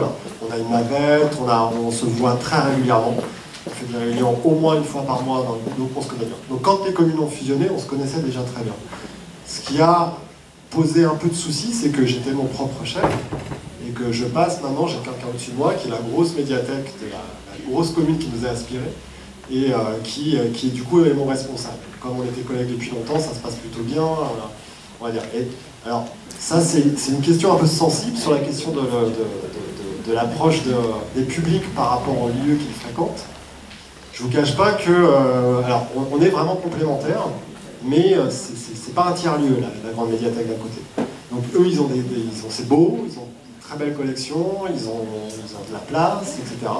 Et nous, on est à 2 km et demi, et il y a une voie verte en plus maintenant, donc les gens viennent à vélo, à pied, etc. Et euh, c'est clair que la différence, on a beaucoup parlé de l'accueil avec Julien, toutes les remarques systématiquement reviennent sur l'accueil. C'est chez vous, on se sent bien quoi. On a peur, on ne va pas se faire engueuler par le retard du document, on n'est pas obligé de montrer sa carte, juste avec le nom, c'est informatisé maintenant, avec un nom de famille, voilà. C'est des petites choses, hein, comme ça. Et c'est vrai qu'on a grignoté. Euh, enfin, en fait, c'était d'ailleurs ma première surprise. Avant qu'on fusionne, on avait de plus en plus de gens de cette commune qui, qui prenaient, qui s'inscrivaient chez nous. Alors qu'on a une carte unique, une carte commune. Ils venaient s'inscrire chez nous. La différence, euh, la différence est là. Voilà. Mais on travaille quand même de commun accord, mais euh, c'est pas la même manière de travailler. L'autre bibliothèque, sur une commune de, 1700 habitants, euh, elle travaille à son 2, professionnelle avec des bénévoles, elle travaille comme nous, enfin de la même manière. Avec un peu moins d'action culturelle, parce que c'est vrai que c'est un choix qui a été instauré nous aussi dans le fonctionnement, c'est qu'on a été une des premières médiathèques à avoir un budget d'action culturelle supérieur à l'acquisition des collections. Ça, c'était voilà, pas courant à l'époque. Voilà. Pour la, je fais une petite remarque par rapport à ce que vous disiez, la notion du temps est effectivement extrêmement importante sur ce genre de travail. C'est euh, vraiment un travail au long cours, et puis en plus on est tributaire des mandats des élus qui changent. Donc des fois c'est pas très très simple. Et puis pour en revenir au livre aussi, nous il y a une petite chose que je n'ai pas précisé dedans, mais on aurait beaucoup de choses encore à dire, c'est que nous on incite euh, fortement les adhérents, on ne fait pas de carnet de suggestions pour les, les livres, on se passe du carnet. Nous, on veut que les gens viennent discuter avec nous. Donc en fait, ce qu'on fait, c'est qu'on euh, leur demande de participer aux acquisitions de manière orale, et aussi pour tout ce qui est documentaire, on se sert justement de tous les savoirs ou les métiers qu'on nous usageait. C'est-à-dire que la prof de shiatsu, c'est elle qui nous conseille les livres. La prof de yoga, c'est elle qui nous conseille les livres. il y a un chef à côté dans un restaurant, lui aussi nous conseille des livres. Voilà. Donc en fait, il y a une partie de nos acquisitions, enfin une grosse partie, une très grosse partie de nos documentaires qui sont euh, viennent pas des bibliothécaires, mais qui viennent des usagers et de leur spécificité. Par exemple, l'atelier couture, au début, j'achetais des livres de couture. Les prêts, c'était pas terrible. Depuis que c'est les filles de la couture qui me disent quoi acheter, et du coup, ils tournent sur tout le réseau, les bouquins. Vous voyez, c'est des petites subtilités comme ça. Voilà. Bonjour. Alors moi, j'avais une question euh, plutôt technique par rapport à, la, à l'équipe de bénévoles. Euh, ils sont très très nombreux et je voulais savoir comment vous organisiez euh, exactement euh, bah, le groupe, comment ça se gérait, est-ce qu'il y a une convention, comment vous faites en fait pour gérer Alors au début, pour rassurer les élus, on avait fait une convention. Mais je ne vais pas rentrer dans les détails, je ne sais pas si vous le savez, mais cette, charte de volontariat ou cette charte d'engagement volontaire ne vaut peanuts au niveau du droit juridique. C'est même plutôt un frein, d'ailleurs. Mais c'est une collègue à nous, justement, en faisant un échange de savoir, lors d'un réseau d'échange de savoir, qui a beaucoup de connaissances là-dessus, qui nous l'a appris. Donc on, formalisait un petit peu les choses comme ça. Euh, on l'a abandonné depuis. Euh, les gens rentrent et sortent comme ils veulent. Et en fait, nous, c'est du principe, trop de règles, tu, tu le, le fonctionnement. Donc du coup, euh, les bénévoles rentrent dans l'équipe quand ils veulent, s'investissent le temps qu'ils veulent et font ce qu'ils veulent. C'est-à-dire qu'on a des... Comment, du coup, euh, eh ben, en fait, ça se gère très bien parce que, comme l'a expliqué Julien, quand on travaille sur les postures de l'équipe, ce que doit faire l'équipe, qui on est et comment on doit travailler, les choses deviennent très naturellement. Il y a autre chose aussi qui est très importante, c'est que quand un bénévole rentre, c'est pas moi qui lui enseigne le métier. Moi, je lui présente le lieu. Je lui dis, voilà, on est un lieu comme ci, comme ça, très, très ouvert, on fait pas mal d'actions culturelles, euh, c'est un peu le bordel des fois, c'est un peu le bazar, on présente l'état d'esprit du lieu. Et après, tout de suite, on fonctionne par tutorat et par binôme. C'est-à-dire que le nouveau bénévole est pris en charge par plusieurs bénévoles, le temps sur les permanences qu'il va faire, et puis ce bénévole-là, quand il est formé, il nous dit, bah maintenant, ok, je me sens, euh, je vais voler de mes propres ailes, et j'ai envie de faire de l'accueil, j'ai pas envie d'équiper des livres. Par contre, je vais, je animer un atelier euh, autour de la généalogie. Est-ce que je peux le faire? Donc nous, on a des bénévoles qui font euh, tout ce qu'ils veulent. Certains font tout. Font de l'équipement, de l'accueil, euh, animent un atelier. D'autres animent que des ateliers. Voilà, je pense que j'ai à peu près répondu. c'est libre. Voilà, c'est entièrement libre. En fait, plus c'est libre, plus on a des gens qui adhèrent et qui viennent nous rencontrer et disent Moi, je veux rentrer dans l'équipe. Parce que quand ils ne se sentent pas emprisonnés dans, quelque chose, quand ils veulent partir, ils partent. Donc voilà. Et en fait, ils partent pas. Ils partent pas souvent. Merci. Oui, bonjour. Vous avez dit au tout début de votre présentation, puis ensuite euh, vous n'êtes pas revenu dessus, que la première action que vous aviez menée, c'était l'aide aux devoirs. Ouais. Et euh, voilà, je voulais savoir un petit peu, d'abord, est-ce que ça continue, parce que vous n'en parlez plus, et, puis euh, comment ça s'organise, quels jours, quelles heures, euh, avec quelles limites, avec quel personnel, enfin voilà. Et est-ce que effectivement ça fonctionne? Voilà, Alors ouais, effectivement, j'aurais pu en, dire un mot de plus. donc c'est une action qui continue encore aujourd'hui, même si elle est limitée, si elle a été beaucoup en pointillé ces deux dernières années. Euh, comment elle s'organise? Elle s'organise avec des bénévoles là des gens qui, sont venus nous proposer qu'on a plutôt démarché au départ. quand on a ouvert la bibliothèque, on a parlé rapidement de, ça, quand on avait déjà des connaissances dans le quartier, puisque nos lieux de préfiguration étaient dans le quartier. Donc on avait noué des, connaissances avec pas mal de gens dans le quartier. Et, donc on a dit, fait un appel quand les gens s'inscrivaient, ah oui, en fait il y a un service d'aide aux devoirs si ça vous intéresse, et si vous avez un peu de temps à mener, euh, c'est le mardi et le jeudi soir de 16h30 à 19h, la fermeture de la bibliothèque. Euh, la règle de base, c'est que c'est tous les enfants jusqu'à la fin du collège, collège qui viennent. Euh, il n'y a pas d'inscription au préalable, c'est une inscription au moment où, où on vient, on sort de l'école et on vient se mettre sur la liste. Et ça dépend du nombre de bénévoles ou de bibliothécaires qui sont disponibles. Si j'ai quatre bénévoles à un moment, ça peut, je ne vais pas faire de liste parce que ça va aller relativement vite. Par contre, si j'en ai qu'un seul, je vais faire une liste et je vais la clôturer au bout d'un moment en disant bah là, je ne peux pas, euh, je, vais pas pouvoir t'aider euh, ce soir. Euh, il y a plusieurs lieux dans le quartier hein, qui, font, ça, donc on essaye de, laisser personne sur le carreau. Des fois, on est submergé par la demande, donc, on, ne peut malheureusement pas répondre partout. Mais ouais, les, bénévoles, ils vont. il y a des époques où ils étaient assez nombreux, où elles étaient c'est que des femmes. Elles étaient 9 ou 10 euh, là, euh, je vais prendre les dernières périodes normales, donc avant Covid, euh, c'était redescendu à 5, 6 juste avant le Covid. Et, donc il y a parfois aussi des bibliothécaires. Ça se passe dans une salle qui est la salle de travail. Et donc le bibliothécaire qui est de, permanence dans cette salle-là, il, participe aussi à, ce, à cette aide de devoir-là. Il n'y a pas de limite, si ce n'est les, propres compétences. C'est-à-dire que euh, si moi j'aide un enfant et que j'ai pas je suis pas bon en maths de troisième, et eh ben, je vais le filer à quelqu'un d'autre en disant hey, toi t'es voilà. Et dans les bénévoles qu'on a, on a la moitié c'est d'anciens profs parce que c'est logique. c'est hyper logique. Et l'autre moitié, pas du tout. Il y, avait euh, une infirmière, euh, un commercial, enfin un mec qui, ouais, était commercial, quoi. Enfin, pas un mec derrière une nana.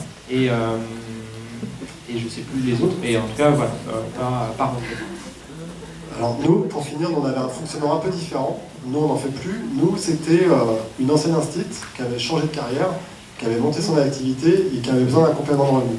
Et en fait, donc, elle était payée par les parents pour de l'aide aux devoirs. Donc là, nous, on a, là, pour le coup, on a passé un conventionnement avec euh, la mairie pour qu'elle puisse avoir le droit d'utiliser les locaux qui sont les locaux de service public pour une activité lucrative. Donc ça, il y a eu un conventionnement très clair de fait, avec là une date de début, une date de fin, etc. Et euh, sauf que au lieu d'être chez elle, elle le faisait à la médiathèque. Et donc avec toutes les ressources qu'on a, etc. Et c'était aussi beaucoup plus pratique parce qu'il y a l'arrêt de bus qui arrive près de, la médiathèque, on rentre, et c'est aussi une, autre manière de faire à la médiathèque parce qu'on euh, a eu beaucoup d'enfants qui n'étaient pas du tout inscrits dans cette médiathèque-là et qui ont découvert comment fonctionnait. C'était un peu.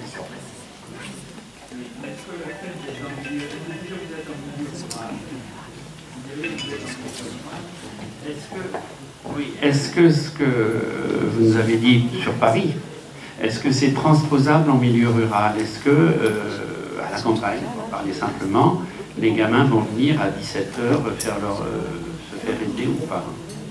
Je pense que ça dépend de. Encore une fois, tout dépend de la communauté, de la fréquentation, de comment ça se structure. Si vous avez une, fréquentation qui est naturelle parce que vous êtes aux abords d'une école et que euh, les enfants viennent euh, pour mille raisons, ils viennent à la bibliothèque euh, à ce moment-là. Aussi parce que vous parlez de ce service-là, en fait, hein, parce que nous, on a des familles qui débarquaient à cette heure-là parce qu'ils avaient entendu parler de ça. Il n'y bah, a, rien qui s'y oppose suivant dans une configuration plus rurale tout dépend de, la fréquentation en fait à chaque fois. Hein. S'il n'y a pas d'enfants qui fréquentent parce que la bibliothèque est loin des centres d'animation ou des écoles, etc. Effectivement, ça, il faut peut-être euh, faire autrement que du libre service. Il faut peut-être prendre des rendez-vous plus précis et organiser les choses autrement.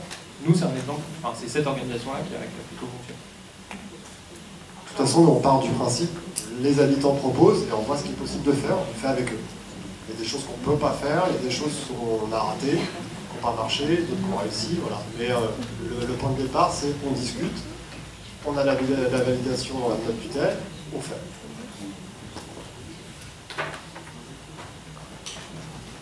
J'ai encore une question. Très simple, plutôt au ras des champs, s'il vous plaît. si c'est pas indiscret. Donc vous avez une, une, bibliothèque à peu près de 160 mètres carrés, dont 100 mètres carrés ouvert au public.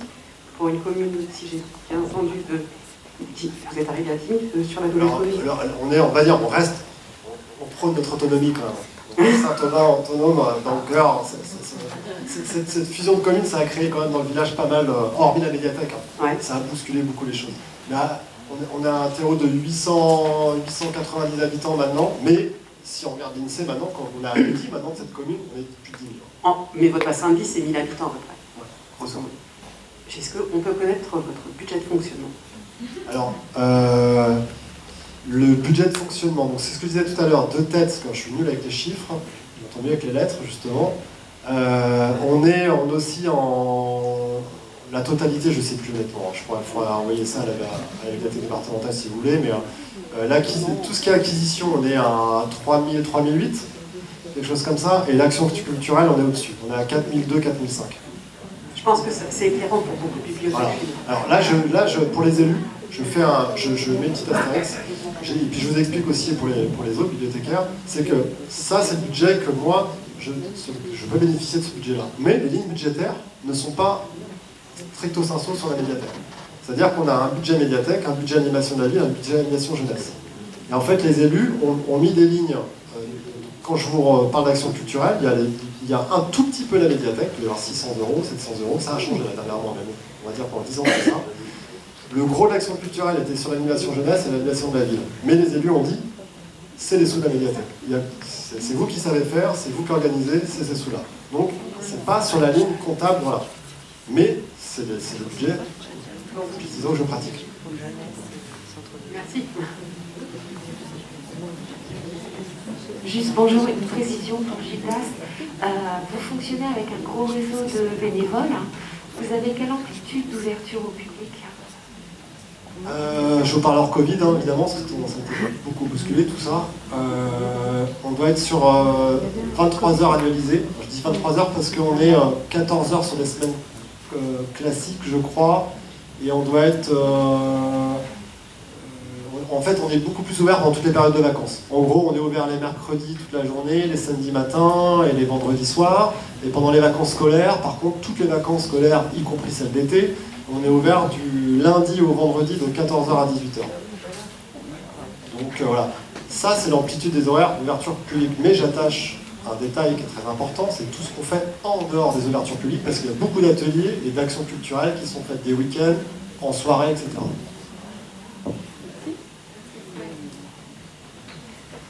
bonjour, alors moi je, suis Brigitte, je travaille dans une bibliothèque euh, en milieu rural. Et je vous ai entendu parler au tout début de choses ratées, vous ne les avez pas trop évoquées, donc euh, j'aimerais bien savoir euh, ce que vous avez raté et, qu'est-ce qui a fait que justement ça a été raté? oui, c'est vrai que je vous ai, je teasé le, ciné-club raté. Et il faut, que je finisse cette histoire-là. Pourquoi est-ce que le ciné-club raté continue encore?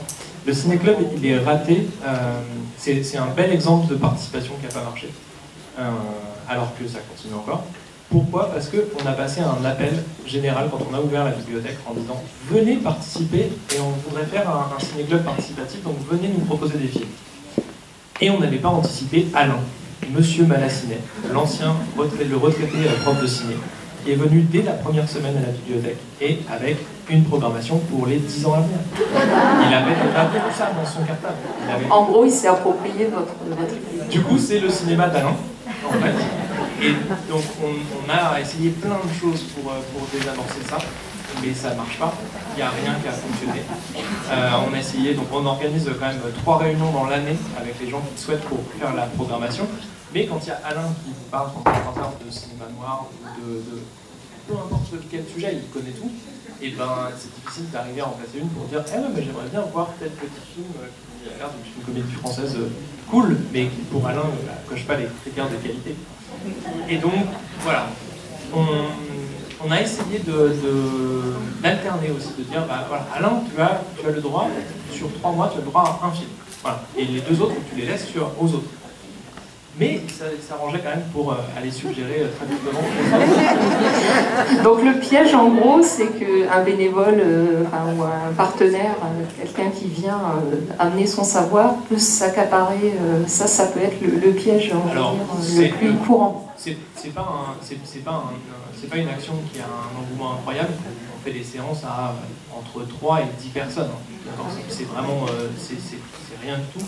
Nous, ça ne nous demande pas grand-chose d'organisation parce que ça se passe dans, dans la salle d'animation où on a juste à lancer un DVD et, c'est tout. C'est aussi pour ça que ça, ça dure, enfin, voilà, ça durera jusqu'à ce que Alain arrête. autrement. Mais, mais euh, ouais, c'est un des risques qui peut exister et sur lequel il faut être assez vigilant, c'est qu'il n'y ait pas cette mainmise euh, qui soit faite par une personne et, euh, qui empêche d'autres de, de s'emparer de tout. C'est valable pour l'ensemble de la participation d'ailleurs. C'est-à-dire que quand on fait des grands appels à participation comme ça, on met des grands panneaux à l'extérieur, venez proposer des trucs, c'est bien parce qu'on a des propositions, mais qui viennent des 50 mêmes personnes qui proposent déjà tout dans, toutes les associations de quartier, dans toutes les structures partout, qui sont des gens passionnants parce que c'est des gens qui sont très moteurs, mais qui se ressemblent beaucoup tous. C'est que des gens qui ont le même profil, euh, voilà, qui ont fait des études supérieures, qui ont un tel niveau de, revenus, qui appartiennent à telle catégorie sociale, et pas les autres. Et, du coup, c'est ce qui nous a beaucoup freiné après dans le reste de la, de la participation pour dire qu'on va y aller beaucoup plus subtilement. Et comme avec M. Wolf dont vous parliez tout à l'heure, on va juste rien dire pendant deux ans. C'est peut-être trop extrême d'ailleurs euh, on ne dit rien jusqu'à ce que ça vienne de, lui. Mais j'ai des exemples vraiment parfaits avec des mamans euh, qui venaient accompagner les enfants à la bibliothèque qui participent à rien. Elles viennent, elles s'installent, elles discutent entre elles, mais elles ne prennent pas un journal, elles ne regardent rien de ce qui se passe à la bibliothèque, on leur offre du thé, mais c'est, elles ne se sentent pas bien à leur place. C'est un peu ce que tu disais avec, euh, ton, papa tout à l'heure.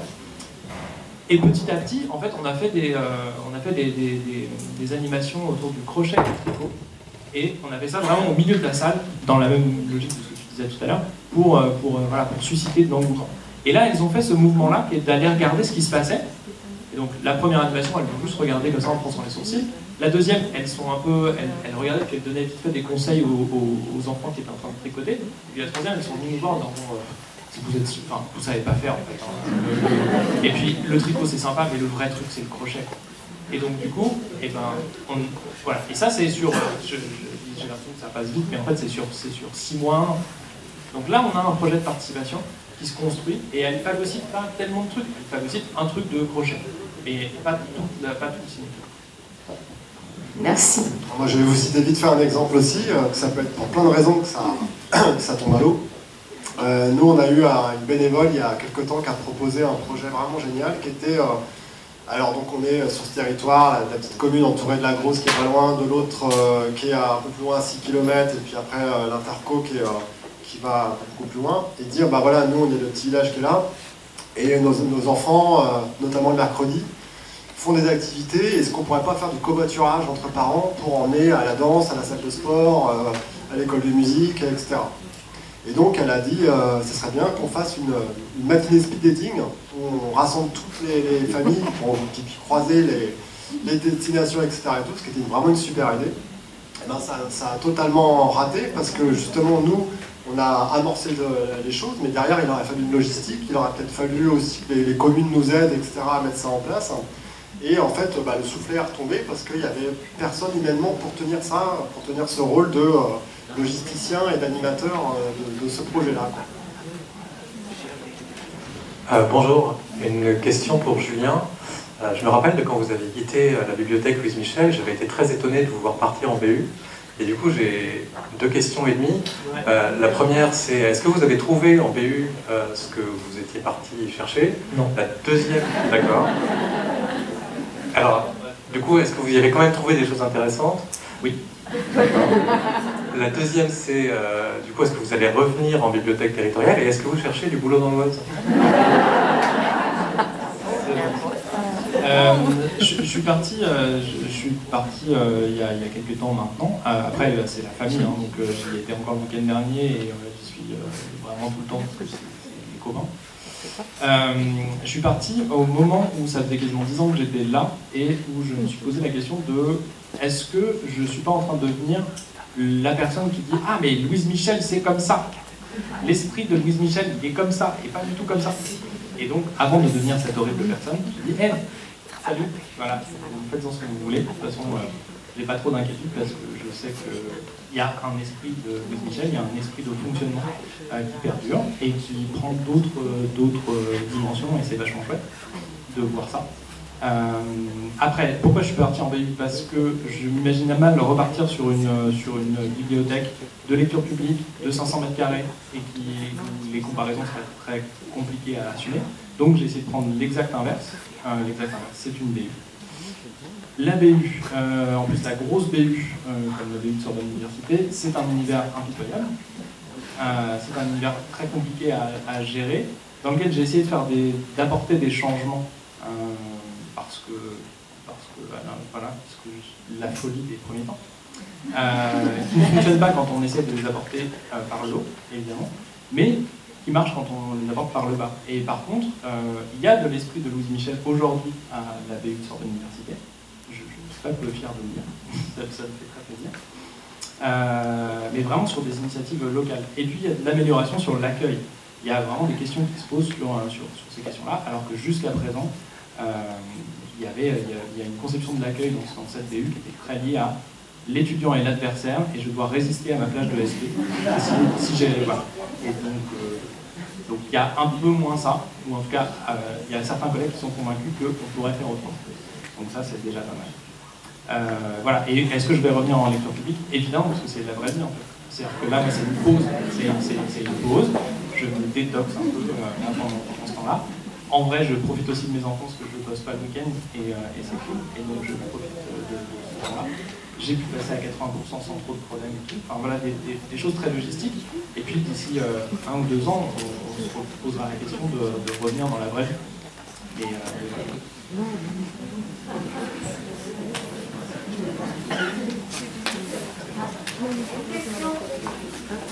Alors, bonjour, nous avons été, nous tous, je pense, impactés par la Covid. Euh, bibliothèque troisième lieu, ben, donc ça génère une participation accrue de, bénévoles.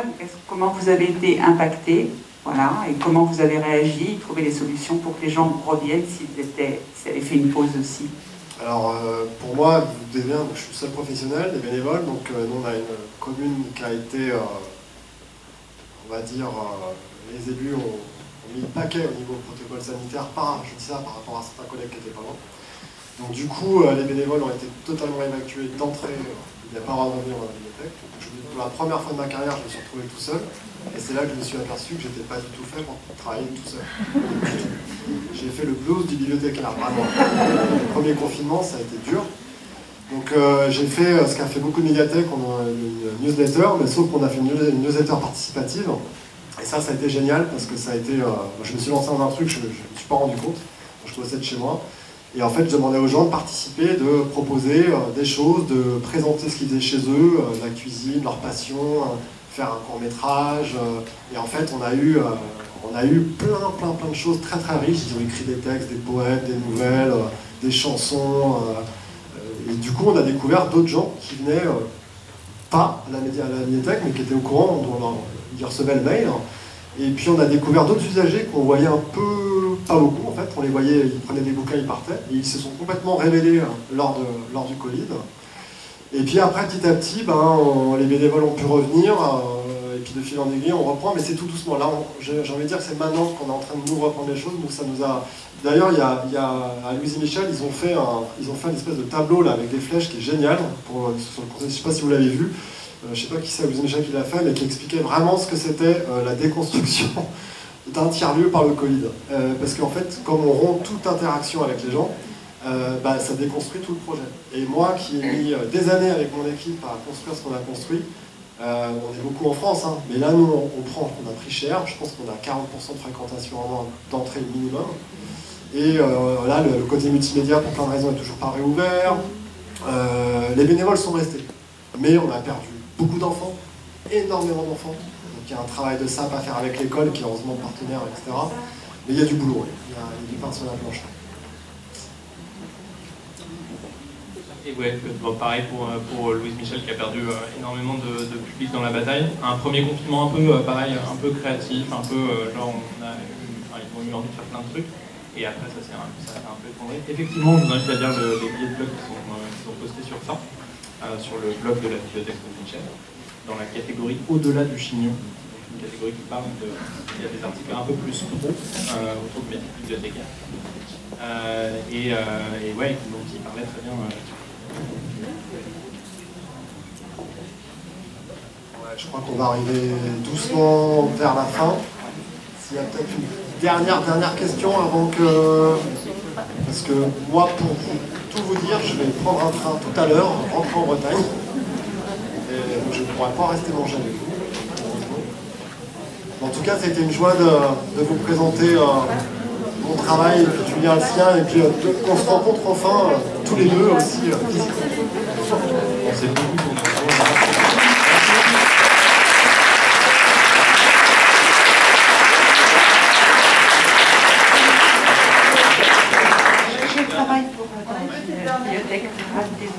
Et euh, je m'interrogeais sur le nombre de bénévoles par rapport au nombre de salariés professionnels.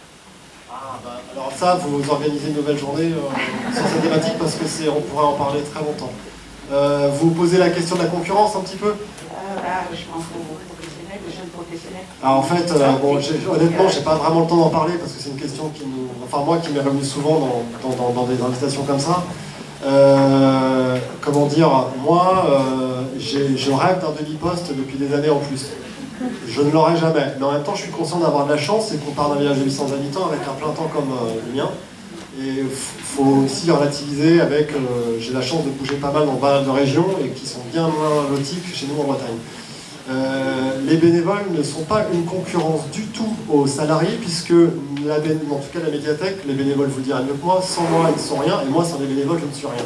Le projet il a été construit comme ça. Et par contre, le danger, c'est vrai, avec les élus, et vous avez raison, je l'ai entendu, que comme là, on est dans un changement de paradigme des médiathèques, et on a tendance même, les grosses médiathèques font revenir des bénévoles dans leurs équipes, il faut bien baliser les choses, parce que c'est vrai, je l'ai entendu, par des politiques, de dire en gros, on va bien se frotter les mains, on va faire concevoir, on va prendre trois salariés, qui, animateurs, qui vont bien bouger les choses, qui vont rameuter plein de bénévoles, et ça permettra, voilà. C'est vrai que c'est le danger. Mais quand les choses sont bien faites, il n'y a pas de concurrence, euh, et ça, c'est très bien harmonisé. C'est toujours pareil, qu'il faut tracer à la racine.